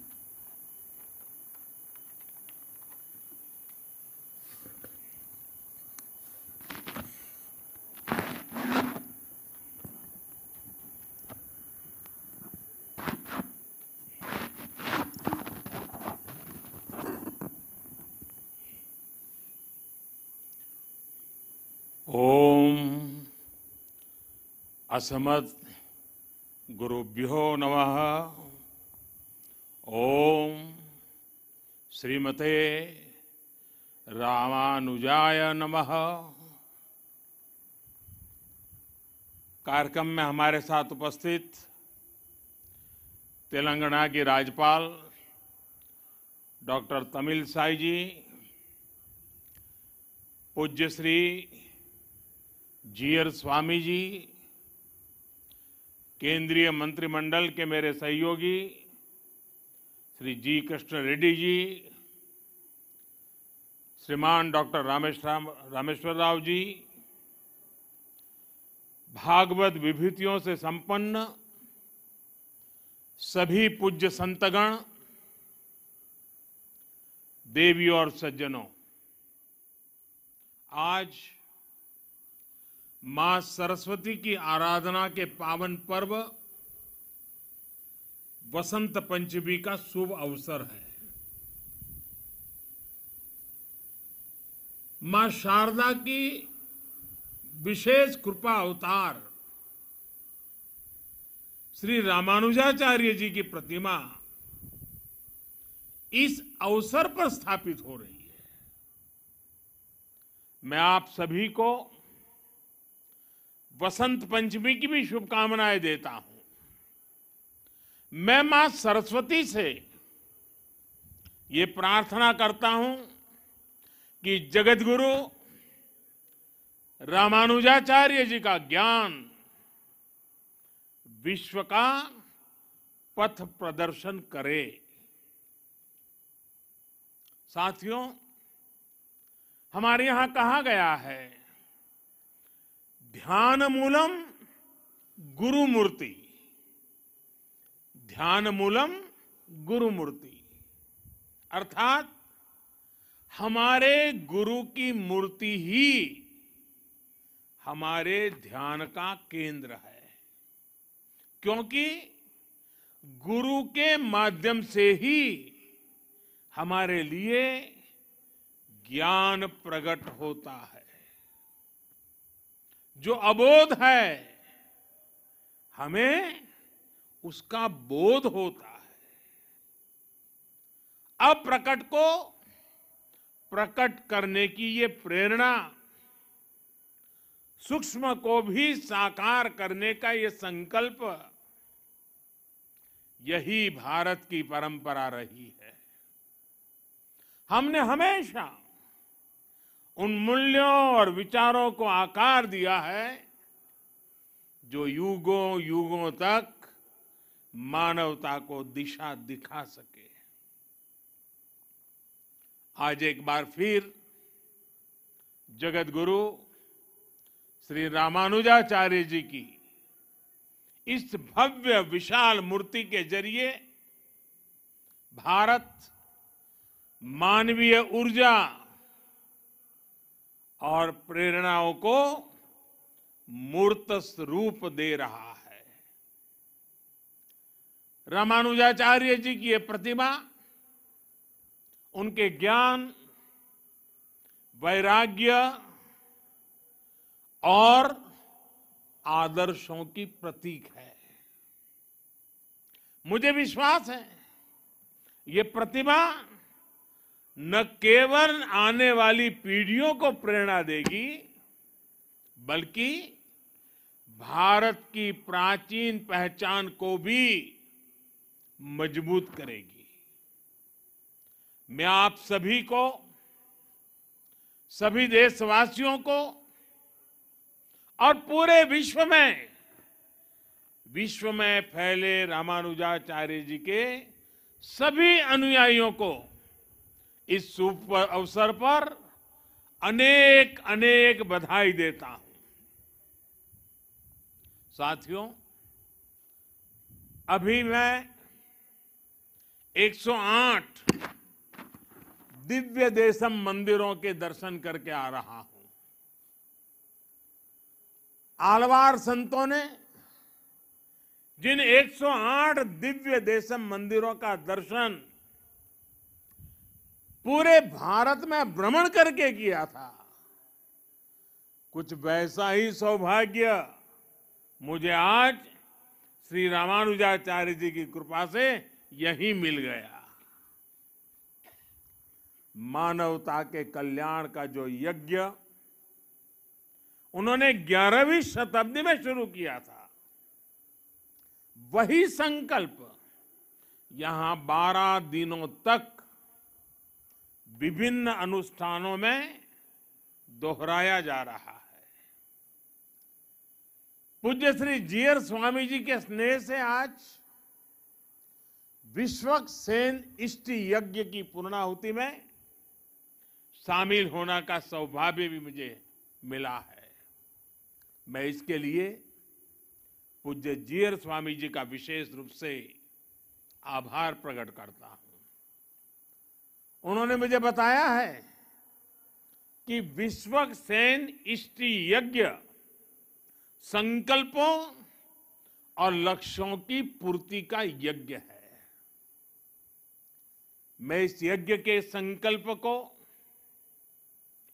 देश के अमृत संकल्पों की सिद्धि के लिए नतमस्तक होकर के समर्पित करता हूँ। इस यज्ञ का फल मैं अपने 130 करोड़ देशवासियों के सपनों की पूर्ति के लिए अर्पित करता हूँ। साथियों, दुनिया की अधिकांश सभ्यताओं में, अधिकांश दर्शनों में किसी विचार को या तो स्वीकार गया स्वीकार किया गया है या फिर उसका खंडन किया गया है। लेकिन भारत एक ऐसा देश है जिसके मनुष्यों ने ज्ञान को खंडन मंडन स्वीकृति अस्वीकृति इससे ऊपर उप, ही उठा करके देखा। स्वयं उससे ऊपर उठे। दिव्य दृष्टि से उस विवाद को देखा। हमारे यहाँ अद्वैत भी है और द्वैत भी है। और इन द्वैत अद्वैत को समाहित करते हुए श्री रामानुजाचार्य जी का विशिष्टाद्वैत भी हमारे लिए प्रेरणा। है रामानुजाचार्य जी के ज्ञान की एक अलग भव्यता है। साधारण दृष्टि से जो विचार परस्पर विरोधाभासी लगते हैं, रामानुजाचार्य जी उन्हें बड़ी सहजता से एक सूत्र में पिरो देते हैं। उनके ज्ञान से, उनकी व्याख्या से सामान्य से सामान्य मानवी भी उससे जुड़ जाता है। आप देखिए, एक और रामानुजाचार्य जी के भाष्यों में ज्ञान की पराकाष्ठा है तो दूसरी ओर वे भक्ति मार्ग के जनक भी हैं। एक और वो समृद्ध सन्यास परंपरा के संत भी हैं। और दूसरी ओर, गीता भाष्य में कर्म के महत्व को भी अत्यंत उत्तम रूप में प्रस्तुत करते हैं। वो खुद भी अपना पूरा जीवन कर्म के लिए समर्पित करते रहे। रामानुजाचार्य जी ने संस्कृत ग्रंथों की भी रचना की और तमिल भाषा को भी भक्ति मार्ग में उतना ही महत्व दिया। आज भी रामानुज परंपरा के मंदिरों में थिरुप्पावाई थिरुप्पावाई के पाठ के बिना शायद ही कोई अनुष्ठान पूरा होता हो। साथियों, आज जब दुनिया में सामाजिक सुधारों की बात होती है, प्रगतिशीलता की बात होती है तो माना जाता है कि सुधार जड़ों से दूर जाकर ही होगा।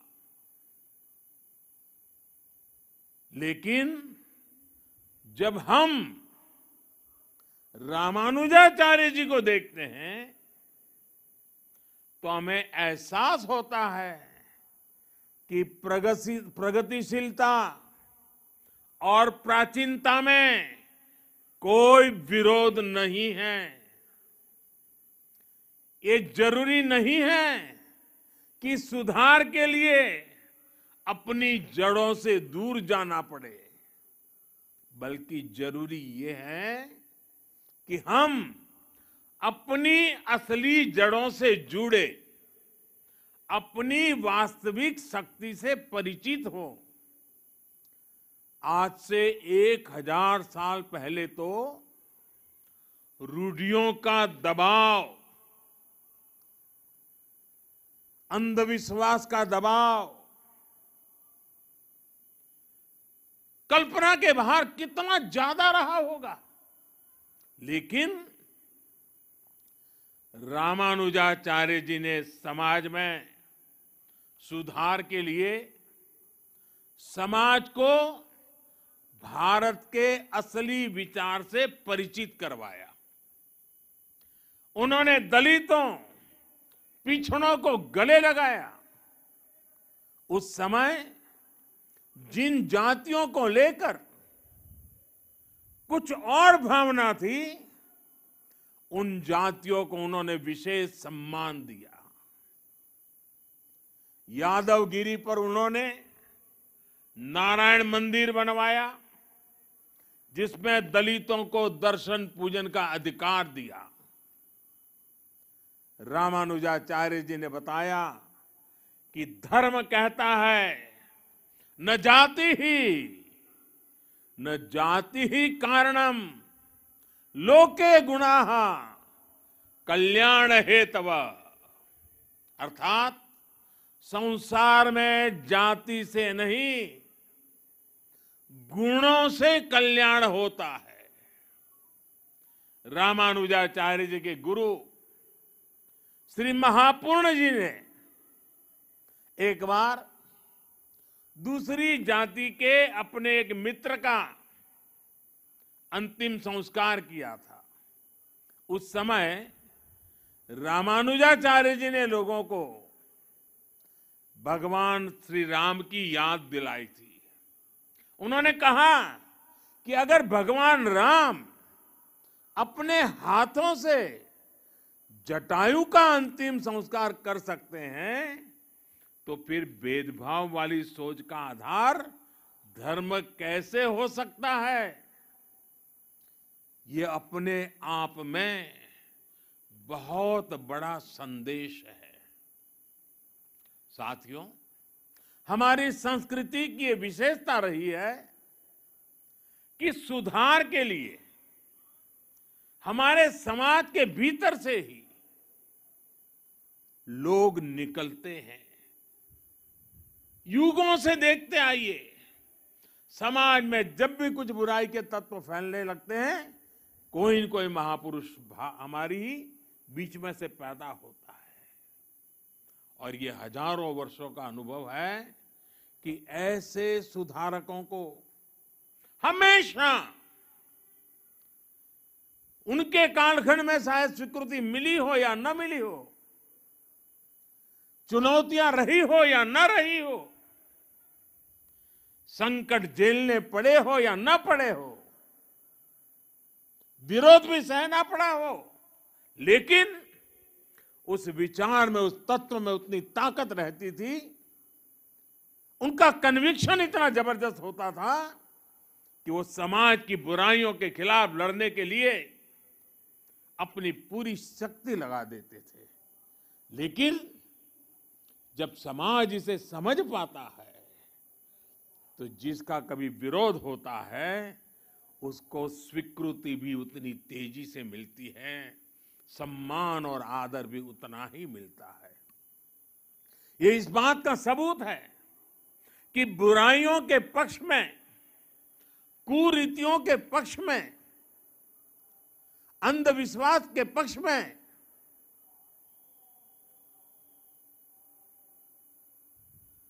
इन जनरल हमारे समाज में सोशल सैंक्शन नहीं होता है। जो बुराई से लड़ते हैं, जो समाज को सुधारते हैं, हमारे यहाँ उन्हें ही मान और सम्मान मिलता है। भाइयों और बहनों, आप सब लोग रामानुजाचार्य जी के जीवन के विभिन्न आयामों से परिचित है। वो समाज को सही दिशा देने के लिए अध्यात्म के संदेशों का भी प्रयोग करते थे और व्यावहारिक जीवन का भी। जाति के नाम पर जिनके साथ भेदभाव होता था, रामानुजाचार्य जी ने उन्हें नाम दिया, थिरुकलधार। यानी लक्ष्मी जी के कुल में जन्म लेने वाला श्री कुल या देवीय जन। वो स्नान करके आते समय अपने शिष्य धनुर्दास के कंधे पर हाथ रखकर आते थे। ऐसा करके रामानुजाचार्य जी छुआछूत की बुराई को मिटाने का संकेत देते थे। यही वजह थी कि बाबा साहब आम्बेडकर बाबा साहब आम्बेडकर जैसे समानता के आधुनिक नायक भी रामानुजाचार्य जी की भरपूर प्रशंसा करते थे। और समाज को भी कहते थे कि अगर सीखना है तो रामानुजाचार्य जी की शिक्षा से सीखो। और इसलिए आज रामानुजाचार्य जी की विशाल मूर्ति स्टैच्यू ऑफ़ इक्वालिटी इसके रूप में समानता का संदेश दे रही है। इसी संदेश को लेकर आज देश सबका साथ, सबका विकास, सबका विश्वास और सबका प्रयास के मंत्र के साथ अपने नए भविष्य की नींव रख रहा है। विकास हो, सबका हो, बिना भेदभाव हो। सामाजिक न्याय सबको मिले, बिना भेदभाव मिले। जिन्हें सदियों तक प्रताड़ित किया गया वो पूरी गरिमा के साथ विकास के भागीदार बने। इसके लिए आज का बदलता हुआ भारत एकजुट प्रयास कर रहा है। आज सरकार जो योजनाएँ चला रही है, उनका बहुत बड़ा लाभ हमारे दलित पिछड़े भाई बहनों को हो रहा है। चाहे पक्के घर देना हो, या फिर उज्ज्वला का मुफ़्त कनेक्शन गैस कनेक्शन चाहे पाँच लाख रुपए तक मुफ़्त इलाज की सुविधा हो, या फिर बिजली का मुफ़्त कनेक्शन चाहे जनधन बैंक खाते खोलना हो, या फिर स्वच्छ भारत अभियान के तहत करोड़ों शौचालयों का निर्माण करना ऐसी योजनाओं ने दलित, पिछड़े, गरीब, शोषित, वंचित सभी का भला किया है। बिना भेदभाव सबको सशक्त किया है। साथियों, रामानुजाचार्य जी कहते थे, उरिय गल्लुकुल, वेड़मिल्ले। अर्थात सभी जीव समान है। वो ब्रह्म और जीव की एकता की बात ही करके रुकते थे ऐसा नहीं थे। वो वेदांत के इस सूत्र को स्वयं भी जीते थे। उनके लिए स्वयं में और दूसरों में कोई भेद नहीं था। यहाँ तक कि उन्हें अपने कल्याण से ज़्यादा जीव के कल्याण की चिंता थी। उनके गुरु ने कितने ही प्रयासों के बाद जब उन्हें ज्ञान दिया तो उसे गुप्त रखने के लिए कहा, क्योंकि वो गुरु मंत्र उनके कल्याण का मंत्र था उन्होंने साधना की थी, तपस्या की थी, जीवन समर्पित किया था और इसलिए ये गुरु मंत्र मिला था। लेकिन रामानुजाचार्य जी की सोच अलग थी। रामानुजाचार्य जी ने कहा पति से एक एवाहम पति से एक एवाहम नर के गुरु पातका सर्वे गच्छन्तु भवताम। कृपया परमम पदम। यानी मैं अकेला नर्क जाऊँ तो भी कोई बात नहीं, लेकिन बाकी सबका कल्याण होना चाहिए। इसके बाद उन्होंने मंदिर के शिखर पर चढ़कर हर नारी को वो मंत्र सुनाया, हर नर को वो मंत्र सुनाया। जो उनके गुरु ने उन्हें उनके कल्याण के लिए दिया था। समानता का ऐसा अमृत रामानुजाचार्य जी जैसा कोई महापुरुष ही निकाल सकता था, जिसने वेद वेदांत का वास्तविक दर्शन किया हो। साथियों, रामानुजाचार्य जी भारत की एकता, भारत की अखंडता का भी एक प्रदीप्त प्रेरणा है। उनका जन्म दक्षिण में हुआ, लेकिन उनका प्रभाव दक्षिण से उत्तर और पूरब से पश्चिम तक पूरे भारत पर है। अन्नामाचार्य जी ने तेलुगु में उनकी प्रशंसा की है। कनकदास जी ने कन्नड़ भाषा में रामानुजाचार्य जी की महिमा गाई है। गुजरात और राजस्थान में अगर आप जाएँगे तो वहाँ भी अनेक संतों के उपदेशों में रामानुजाचार्य जी के विचारों की सुगंध में महसूस होती है। और उत्तर में रामानंदीय परंपरा के गोस्वामी तुलसीदास जी से लेकर कबीरदास तक हर महान संत के लिए रामानुजाचार्य परम गुरु है। एक संत कैसे अपनी आध्यात्मिक ऊर्जा से पूरे भारत को एकता के सूत्र में पिरो देता है, रामानुजाचार्य जी के जीवन में हम ये देख सकते हैं। इसी आध्यात्मिक चेतना ने गुलामी के सैकड़ों वर्षों के कालखंड में भारत की चेतना को जागृत रखा था। साथियों, ये भी एक सुखद संयोग है। श्री रामानुजाचार्य जी पर यह समारोह उसी समय में हो रहा है जब देश अपनी आज़ादी के 75 साल मना रहा है।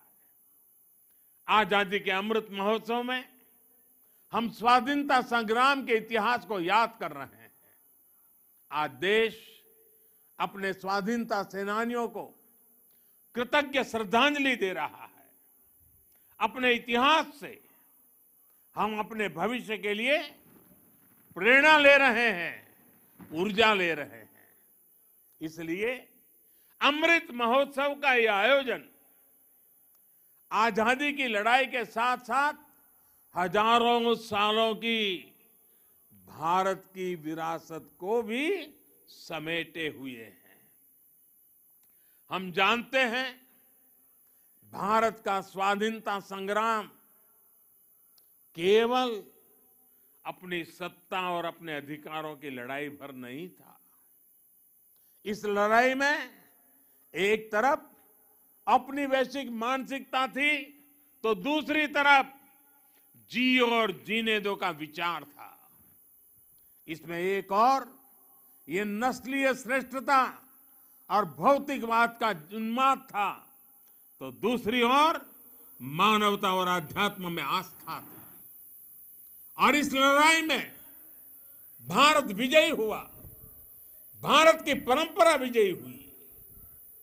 भारत के स्वाधीनता संग्राम में समानता, मानवता और अध्यात्म की वो ऊर्जा भी लगी थी जो भारत को रामानुजाचार्य जी जैसे संतों से मिली थी।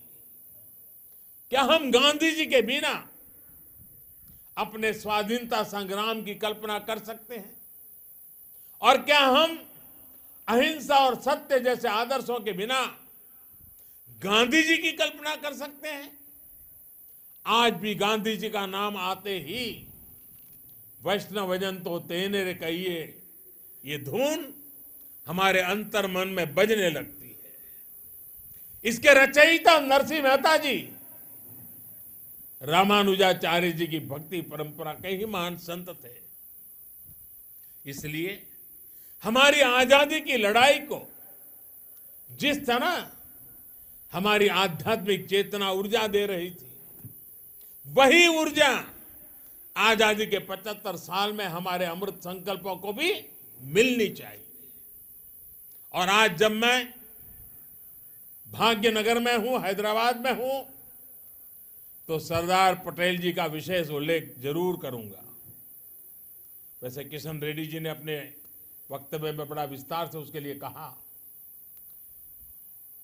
भाग्यनगर का कौन ऐसा भाग्यशाली होगा? कौन ऐसा हैदराबादी होगा? जो सरदार पटेल की दीर्घ दृष्टि, सरदार पटेल का सामर्थ्य और हैदराबाद के आन बान शान के लिए सरदार साहब की कूटनीति को न जानता हो। आज देश में एक और सरदार साहब की स्टैच्यू ऑफ़ यूनिटी, एकता की शपथ दोहरा रही है। तो रामानुजाचार्य जी की स्टैच्यू ऑफ़ इक्वालिटी समानता का संदेश दे रही है। यही एक राष्ट्र के रूप में भारत की चीर पुरातन विशेषता है। हमारी एकता, सत्ता या शक्ति की बुनियाद पर नहीं खड़ी होती। हमारी एकता, समानता और समादर इस सूत्र से सृजित होती है। और साथियों आज जब मैं तेलंगाना में हूँ तो इस बात का ज़िक्र भी ज़रूर करूँगा कि कैसे तेलुगु कल्चर ने भारत की विविधता को सशक्त किया है। तेलुगु कल्चर की जड़ों का विस्तार सदियों में फैला हुआ है। अनेक महान राजा, रानियाँ इसके ध्वज वाहक रहे हैं। सातवाहन हो, काकातिया हो, या विजयनगर साम्राज्य, सभी ने तेलुगु संस्कृति की पताका को बुलंद किया। महान कवियों ने तेलुगु संस्कृति को समृद्ध किया है। पिछले वर्ष ही तेलंगाना में स्थित तेरहवीं शताब्दी के काकातिया रुद्रेश्वर रामाप्पा मंदिर को यूनेस्को विश्व धरोहर स्थल घोषित किया गया है। वर्ल्ड टूरिज़्म ऑर्गेनाइजेशन ने पोचमपल्ली को भी भारत के सबसे बेहतरीन टूरिज़्म विलेज का दर्जा दिया है। पोचमपल्ली की महिलाओं का हुनर, पोचमपल्ली साड़ियाँ के रूप में विश्व विख्यात है। ये वो संस्कृति है जिसने हमें हमेशा सद्भाव, भाईचारा और नारी शक्ति का सम्मान करना सिखाया है। तेलुगु संस्कृति की इस गौरवशाली परंपरा को आज तेलुगु फ़िल्म इंडस्ट्री भी पूरे आन बान शान से आगे बढ़ा रही है। तेलुगु सिनेमा का दायरा सिर्फ़ उतना ही नहीं है जहाँ तेलुगु बोली जाती है। इसका विस्तार पूरे विश्व में है।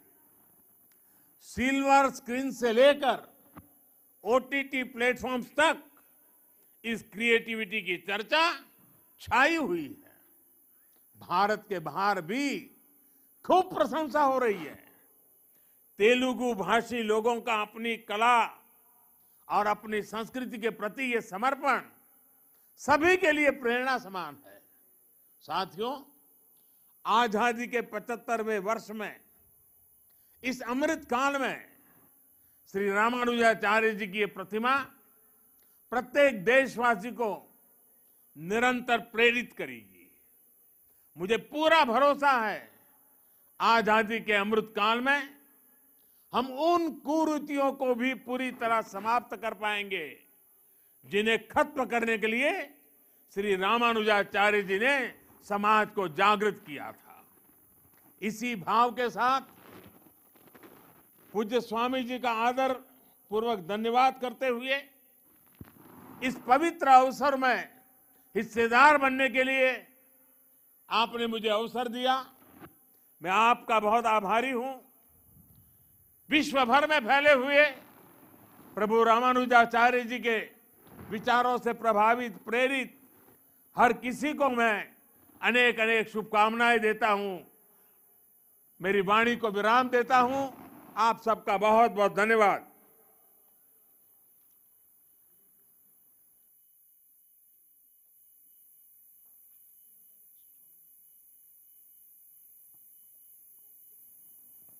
जय श्रीमन नारायण माननीय प्रधानमंत्री महोदय, रामानुजाचार्य स्वामी जी महाराज की प्रेरणा और उनका संदेश जगत को कैसा आगे बढ़ने के लिए और विश्व मानव सौभ्रातृत्व के लिए किस प्रकार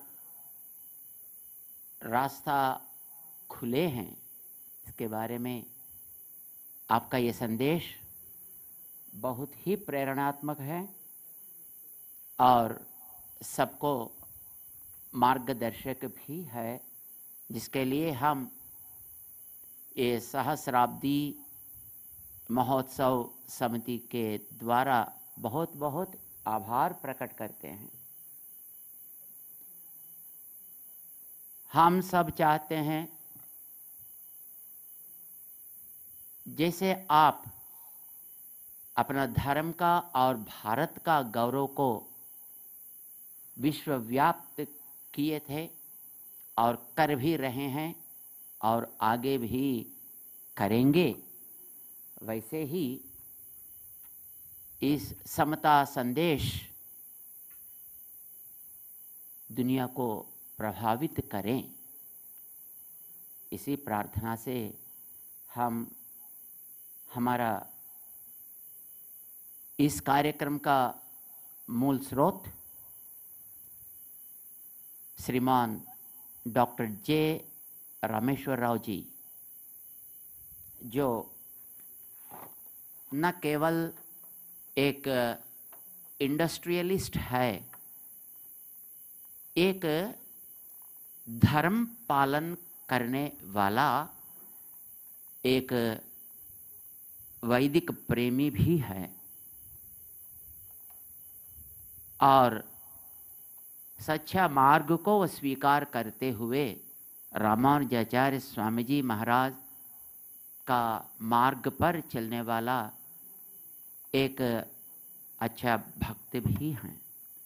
हम डॉक्टर रामेश्वर राव साहब को आह्वान करेंगे कि अब इस सुअवसर पर अमृत महोत्सव के नाम से भारत का आज़ादी के लिए, आज़ादी के लिए जो लड़े थे, जो जान दिए थे, जो अपने खून बहाए थे, ऐसे व्यक्तियों का महत्व को, दुनिया को बताने के लिए एक अमृत महोत्सव नाम से एक उत्तम कार्यक्रम अपना देश को दिए थे और दे रहे हैं। ऐसे श्रीमान नरेंद्र मोदी जी को आभार प्रकट करें। कृतज्ञता प्रकट करें।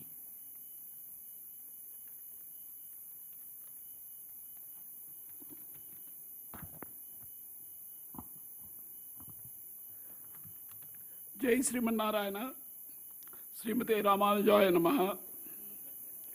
On behalf of Lord Ramanujacharya सहस्र of the committee I take this opportunity to thank our beloved prime minister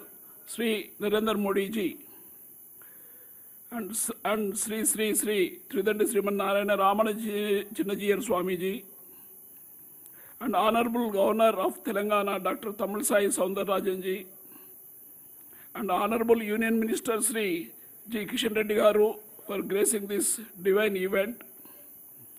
Lord Ramanujacharya strived hard throughout his life against all votes of bringing up the spirit of equality among the humankind.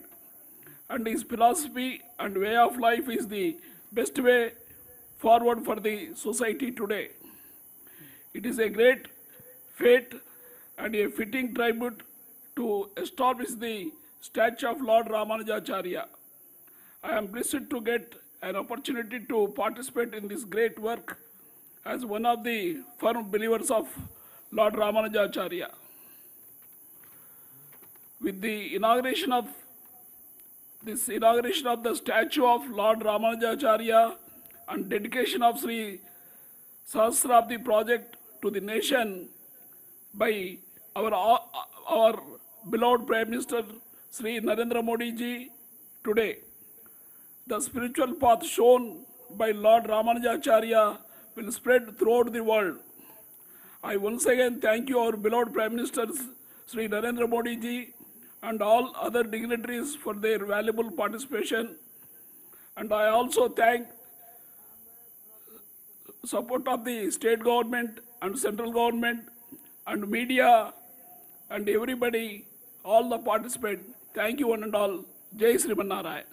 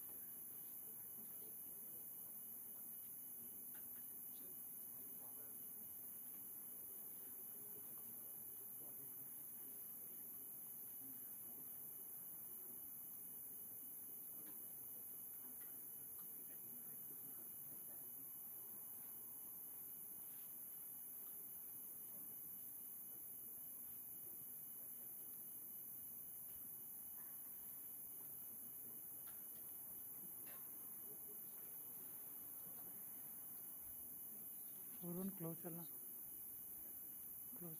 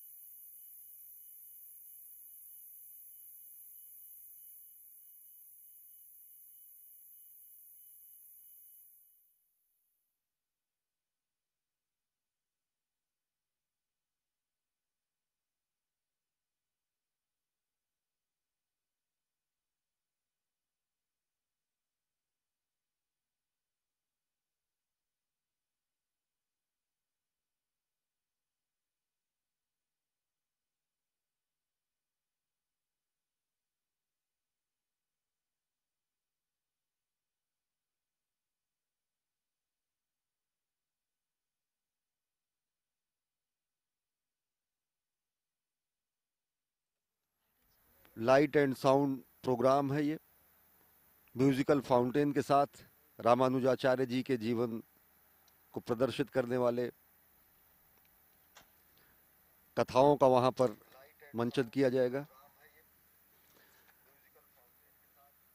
ये भद्रवेदी से लेकर 108 सीढ़ियाँ हैं नीचे आने के लिए और यहीं पर एक लाइट एंड साउंड प्रोग्राम का आयोजन किया जा रहा है। म्यूजिकल फाउंटेन का निर्माण किया गया है इस परिसर में और जहाँ पर अनेक कथाओं का मंचन श्रद्धालुओं के लिए किया जाएगा और उसी का अवलोकन करेंगे प्रधानमंत्री नरेंद्र मोदी। ये दिव्य एवं भव्य मूर्ति इसका अनावरण प्रधानमंत्री नरेंद्र मोदी ने किया और उन्होंने अब से थोड़ी देर पहले अपने संबोधन में कहा कि जो ये पूरा का पूरा सबका साथ, सबका विकास, सबका विश्वास, सबका प्रयास, ये सिद्धांत, समता का ही सिद्धांत है। ये सिद्धांत सनातन संस्कृति और भारतीयता से ही निकला हुआ सिद्धांत है और साथ ही साथ अमृत महोत्सव के संकल्पों को उन्होंने फल देने के लिए इस संपूर्ण यज्ञ और आयोजन का उन्होंने आह्वान किया और साथ ही साथ उन्होंने ये कहा कि सामाजिक रूप से जितने संत और समाज सुधारक रहे, आज से हज़ार वर्ष पूर्व जिस तरीके से समता के क्रांति दूत के रूप में जगत गुरु रामानुजाचार्य जी का आविर्भाव हुआ, उसी तरीके से समाज के निर्माण में वर्तमान सरकार और वर्तमान सरकार की नीतियाँ, एक भारत, श्रेष्ठ भारत, समुन्नत भारत जगत गुरु भारत की संकल्पना को साकार करने में लगी है।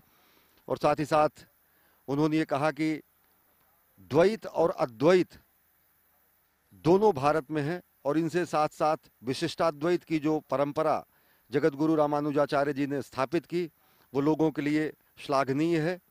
इस समय प्रधानमंत्री नरेंद्र मोदी अभिमुख हैं उस स्थान की तरफ़, जहाँ पर म्यूजिकल फाउंटेन और three light and sound program का अवलोकन वो करेंगे। साथ में है इस संस्था के चिन्ना जीयर स्वामी तेलंगाना की राज्यपाल तमिल तमिलसाई सुंदरराजन और इस समय प्रधानमंत्री नरेंद्र मोदी पहुँचे हैं और वहाँ पर पहुँच उपस्थित जन समुदाय का अभिवादन स्वीकार कर रहे हैं।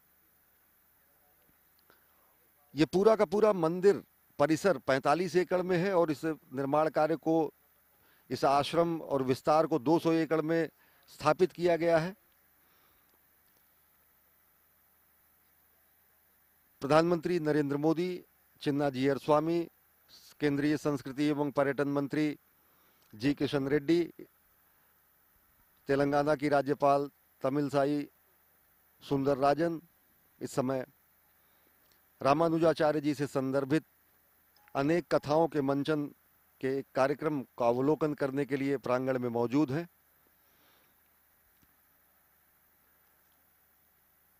इस प्रतिमा को प्रधानमंत्री नरेंद्र मोदी ने भारत भारतीयता, सनातन संस्कृति और समूची मानवता के लिए समर्पित किया और साथ ही साथ उन्होंने कहा कि भारत का स्वतंत्रता संग्राम केवल अपनी सत्ता और अपने अधिकारों की लड़ाई नहीं था। एक तरफ़ औपनिवेशिक मानसिकता थी और दूसरी ओर जियो और जीने दो का संकल्प था प्रधानमंत्री जी ने यह भी कहा कि नस्लीय श्रेष्ठता और भौतिकवाद का उन्माद एक तरफ़ था तो वहीं दूसरी ओर मानवता और आध्यात्म में आस्था थी और इस लड़ाई में भारत विजयी हुआ और यही भारत की परंपरा विजयी हुई।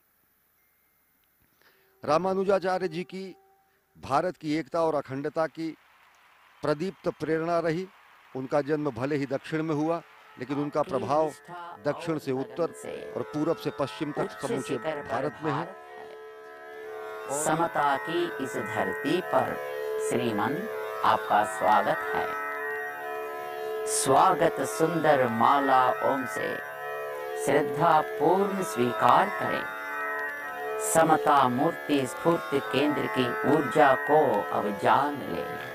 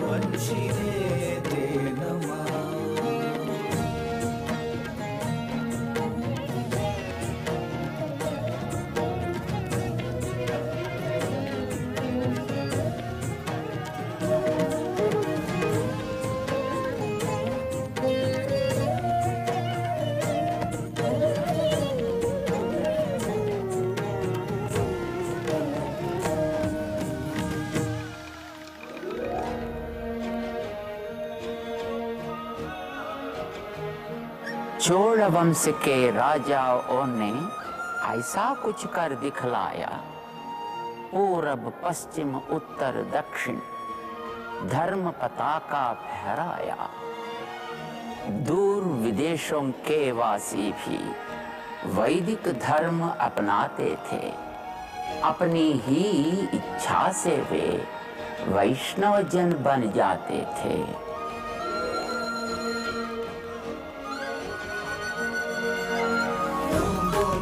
धर्म कला और संस्कृति की जीवित अभी कहानी है। सात समंदर पार अभी तक उनकी अमिट निशानी है।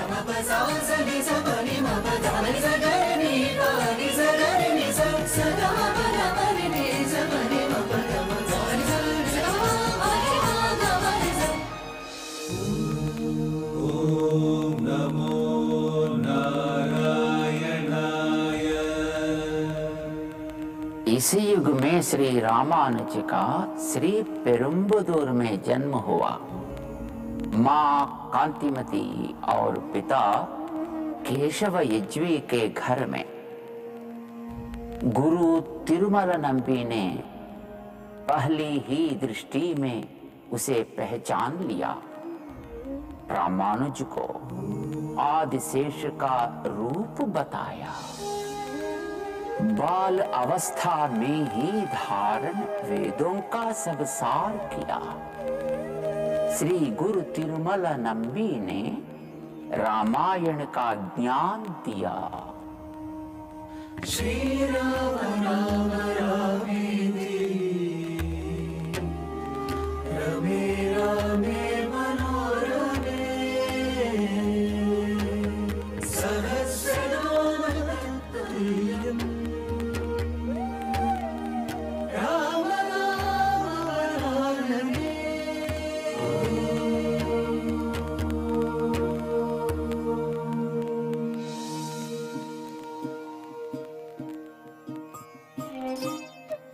सर्व ज्ञान संपूर्ण होने पर भी श्री रामानुज पाँच गुरुओं के शिष्य बने। स्वामी गोष्ठी पूर्ण उस समय के सर्वश्रेष्ठ गुरु थे। उनको भगवत गीता के चर्म श्लोक और अष्टाक्षरी महामंत्र के रहस्यों का ज्ञान था। श्री रामानुज उनके शिष्य बनना चाहते थे। मंत्र की शिक्षा ऐसे ही नहीं मिलती। पहले अपनी क्षमता सिद्ध करो।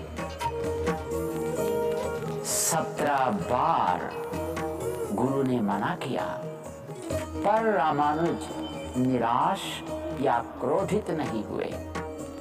हर बार उसी निष्ठा से तपस्या के साथ एक सौ कोष चलकर श्रीरंगम से गोष्ठीपुरम तक गुरु के पास आए। आखिर अठारहवीं बार गुरु मान गए। ज्ञान की इतनी अद्भुत प्यास, इतनी नम्रता और सहनशीलता, आज से तुम मेरे शिष्य हो। तुम्हें गुप्त अष्टाक्षरी मंत्र सिखाने का समय आ गया है। इसे ग्रहण करने की क्षमता बहुत कम शिष्यों में होती है।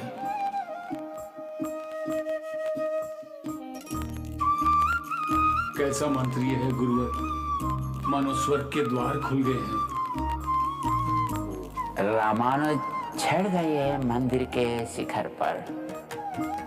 हर जिज्ञासु के लिए मंत्र की घोषणा की। अब मंत्र हो गया सार्वजनिक। हर शोषित पीड़ित वैष्णव जन के कानून तक पहुँच गया। ये क्या कर दिया तुमने? मेरी आज्ञा को तोड़ा इतना बड़ा पाप किया तुमने अपने साथ मुझे भी नर्क की आग में खींच गया फिर रामानुज बोले मंत्र को गुप्त न रखने का निर्णय सिर्फ़ मेरा था। इसका पूरा दायित्व सिर्फ़ मेरा है। अगर मैंने पाप किया है तो नरक की आग मुझे स्वीकार करे।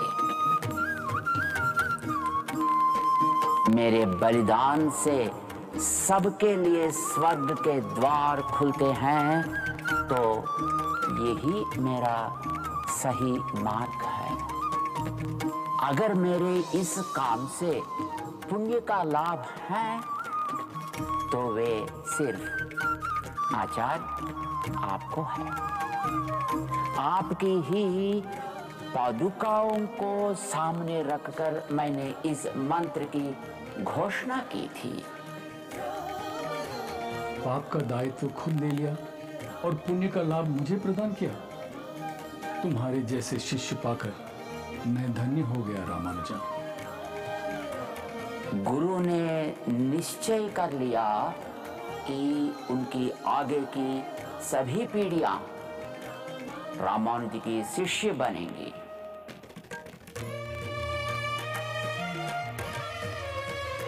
सारा विश्व है तन उनका, यही प्रेम का संदेश दिया। नारायण के दर्शन को द्वार हृदय का खोल दिया। शोषित और दलित को भी प्रभु सेवा का मान दिया। मंदिरों के द्वार खोले समता का संदेश दिया।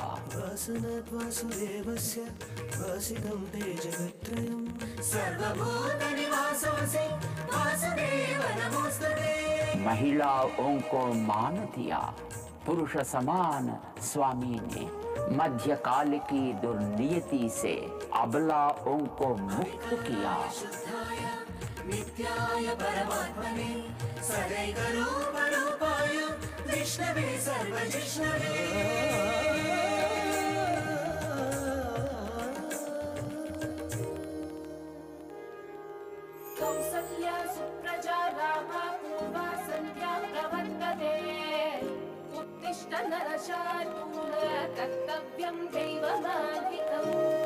सात पहाड़ी छेड़कर पहुँचे, मिलने को नारायण से। रामानुज ने शीश झुकाया, धन्य हो गए दर्शन से। रामानुज के सिद्धांतों पर धर्म प्रबंधन होता है। इनकी पूजा विधि नियमन का अब भी पालन होता है। रामानुजाचार्य ने शास्त्रों के आधार पर तय किया कि भगवान की दाई हाथ में चक्र होगा और बाई ओर शंख भुजों पर नागाभरणम, छाती पर व्यूहलक्ष्मी आभूषण होगा।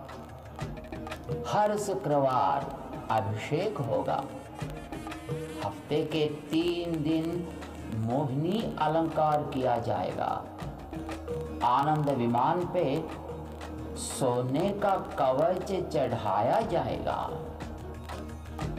तिरचानूर में होने वाला ब्रह्मोत्सव तिरुमला पहाड़ में होगा। भक्त जन गोविंदा गोविंदा कहकर भगवान को आवाज़ देंगे। बोल, गोविंदा गोविंदा। रामानुज ने तिरुमला को कलयुग का वैकुंठ बना दिया।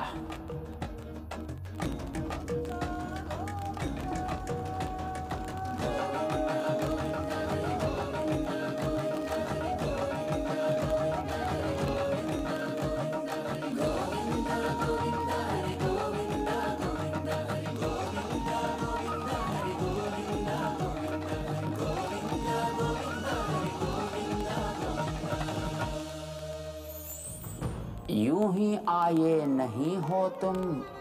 भगवान ने तुम्हें बुलाया है। यह मंत्र अभी तुम दोहराओ। पावन अवसर आया है। ओम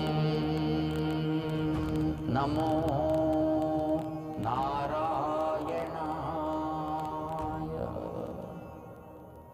मंत्र ब्रह्म जपोगे तुम तो। विघ्न सभी हट जाएँगे। नारायण की कृपा से अब काम सभी बन जाएँगे। ओम नमो नारायणाय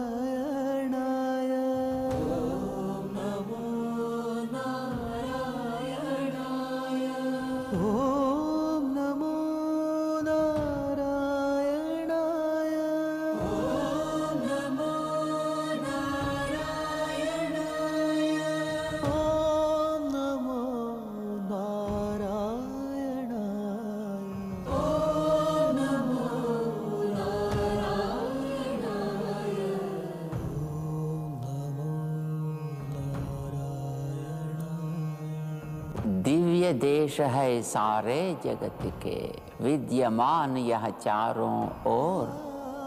स्फूर्ति बने ये रामानुज की भई समता की भोर। मांग है यही, अब समता की हम रामानुज से पाएँगे। भर के मन के हर कोने में इसकी ज्योत जगाएँगे, इसका नाम सुनाएँगे। सर्वे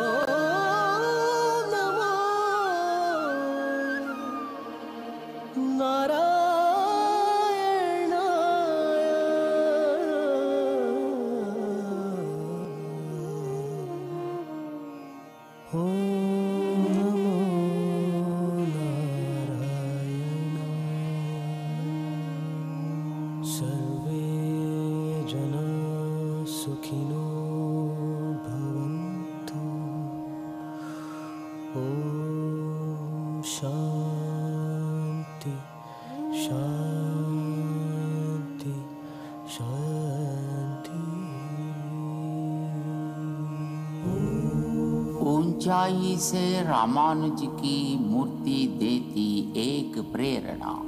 समता का यह संदेश लेकर सारे जगत को अपना लें। सबका सहयोग लेते चलें। आसमान तक बढ़ जाए। आज देश, सबका साथ, सबका विकास, सबका विश्वास और सबका प्रयास के मूल मंत्र पर चल रहा है।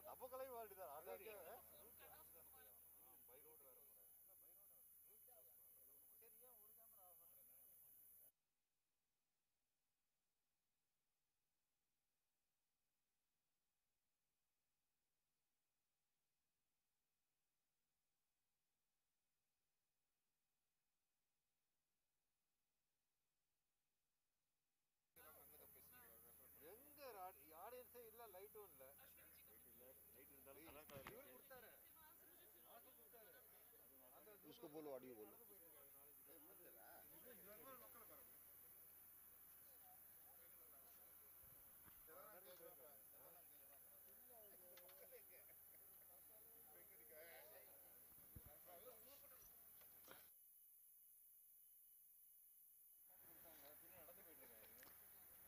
प्रधानमंत्री नरेंद्र मोदी कार्यक्रम स्थल से धीरे धीरे अब यज्ञशाला की तरफ़ प्रस्थान कर रहे हैं।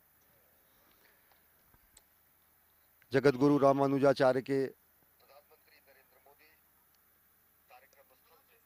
मूर्ति के अनावरण के बाद अब एक बार फिर यज्ञशाला प्रधानमंत्री पहुँचेंगे और जहाँ पर बारह दिनों तक चलने वाले यज्ञ में वो आहुति भी देंगे। इससे पहले की जो परंपरा थी, वो ये थी विश्व सेना की आहुति और उस आहुति को प्रधानमंत्री नरेंद्र मोदी ने देश के अमृत महोत्सव के लक्ष्य को समर्पित किया। उन्होंने कहा कि 130 करोड़ देशवासियों के कल्याण और राष्ट्र निर्माण के संकल्प के लिए हम इसको समर्पित करते हैं और इस समय उपस्थित जन समुदाय से भी प्रधानमंत्री नरेंद्र मोदी मुलाकात कर रहे हैं। विशिष्ट जन यहाँ पर उपस्थित हैं। अनेक विशिष्ट जन यहाँ पर इस कार्यक्रम के साक्षी बनने के लिए इस प्रांगण में उपस्थित हैं और रामानुजाचार्य जी के जीवन दर्शन से प्रेरणा लेते हुए जिस थ्री प्रोजेक्शन कार्यक्रम का यहाँ पर प्रदर्शन किया गया, उसका समापन भी प्रधानमंत्री नरेंद्र मोदी के ही मूल सिद्धांत और इस पथ पर चलने के लिए प्रतिबद्ध। सबका साथ, सबका विकास, सबका विश्वास और सबका प्रयास से ही इस थ्री शो का समापन हुआ। और अनेक गणमान्य व्यक्ति, विशिष्ट आमंत्रित सदस्य इस समय मंदिर प्रांगण में मौजूद हैं, जिनसे अभिवादन करते हुए प्रधानमंत्री नरेंद्र मोदी अब कार्यक्रम स्थल से प्रस्थान करने वाले हैं। राष्ट्र निर्माण की जो परंपरा है और उसके प्रति जो प्रतिबद्धता है प्रधानमंत्री नरेंद्र मोदी की, वो वही प्रतिबद्धता है। जब हम कहते हैं कि त्वदीयाय कार्याय बद्धा कटियम मातृभूमि, हम आपके समस्त कार्यों को करने के लिए कटिबद्ध हैं और उसकी प्रतिपूर्ति के लिए आप हमें आशीर्वाद दें। त्वदीयाय कार्याय बद्धा कटियम शुभामाशिषम देहि तत्पूर्तये। और साथ ही साथ जब राष्ट्र निर्माण के पथ पर समूचा राष्ट्र 130 करोड़ देशवासियों का संकल्प और प्रधानमंत्री नरेंद्र मोदी का नेतृत्व हासिल होता है तो राष्ट्र को एक परम वैभव की तरफ़ ले जाने की संकल्पना भी साकार होती है और वो संकल्पना है भारत के सनातन मूल्यों का संरक्षण करते हुए, भारत भारतीयता का संरक्षण करते हुए, भारत को विश्व में शीर्ष स्थान पर पहुंचाना और वही वह संकल्पना है जो कहती है, परम वैभवम नेतु में स्वराष्ट्रम समर्था भवत्वाशीषा ते भृशम। यानी कि हम संगठित होकर राष्ट्र को वैभव के उच्चतम शिखर पर पहुँचाने का हमें सामर्थ्य हासिल हो, यही कल्पना साकार करने में प्रधानमंत्री नरेंद्र मोदी लगे हैं और वही प्रतिबद्धता है जो ये कहा जाता है कि त्वदीयाय कार्याय बद्धा कटियम शुभामाशिषम देहि तत्पूर्तये समता की मूर्ति का आज अनावरण हुआ है। श्री रामनगर श्री रंगा रेड्डी ज़िले का श्री रामनगर जो कि हैदराबाद से तकरीबन 40 किलोमीटर दूर है। और ये पूरा का पूरा प्रांगण आने वाले वर्षों में आध्यात्मिक चेतना का केंद्र बिंदु बनेगा, जहाँ पर महान आचार्य, संत, समाज सुधारक रामानुजाचार्य ने सनातन संस्कृति के तत्कालीन परिवेश की अनेक अंधविश्वासों और कुरीतियों को समाप्त करते हुए समाज के प्रत्येक वर्ग को, समाज के प्रत्येक वर्ण को, समाज के प्रत्येक व्यक्ति को ईश्वर की आराधना और साथ ही साथ ईश्वर के भक्ति भाव में शरणागत होकर मोक्ष प्राप्त करना और बंधन मुक्त होने की प्रेरणा दी। केवल संत के रूप में ही नहीं, दार्शनिक के रूप में ही नहीं, बल्कि समाज को सामर्थ्यवान बनाना और समाज को एकता और अखंडता के सूत्र में पिरोने का कार्य भी रामानुजाचार्य जी ने किया। एक हज़ार वर्ष पहले उनकी दी गई दीक्षाएँ और शिक्षाएँ आज भी प्रासंगिक हैं और यह प्रक्रिया अनवरत चलती रहेगी तब तक, जब तक कि विकास के अंतिम पायदान पर खड़े व्यक्ति को विकास की मुख्य धारा में शामिल नहीं किया जाता। और इसी संकल्प की सिद्धि में प्रधानमंत्री नरेंद्र मोदी अहरनिश लगे हुए हैं। धर्मपरायण स्वरूप में प्रधानमंत्री नरेंद्र मोदी ने यहाँ कार्यक्रम में हिस्सा लिया। इससे पहले आज एक्रिसेट में जाकर उन्होंने ज्ञान, विज्ञान और अनुसंधान के प्रणेता के रूप में वहाँ एक उन्होंने कार्यक्रम में शिरकत की। बुध विधान ब्रह्म सूत्र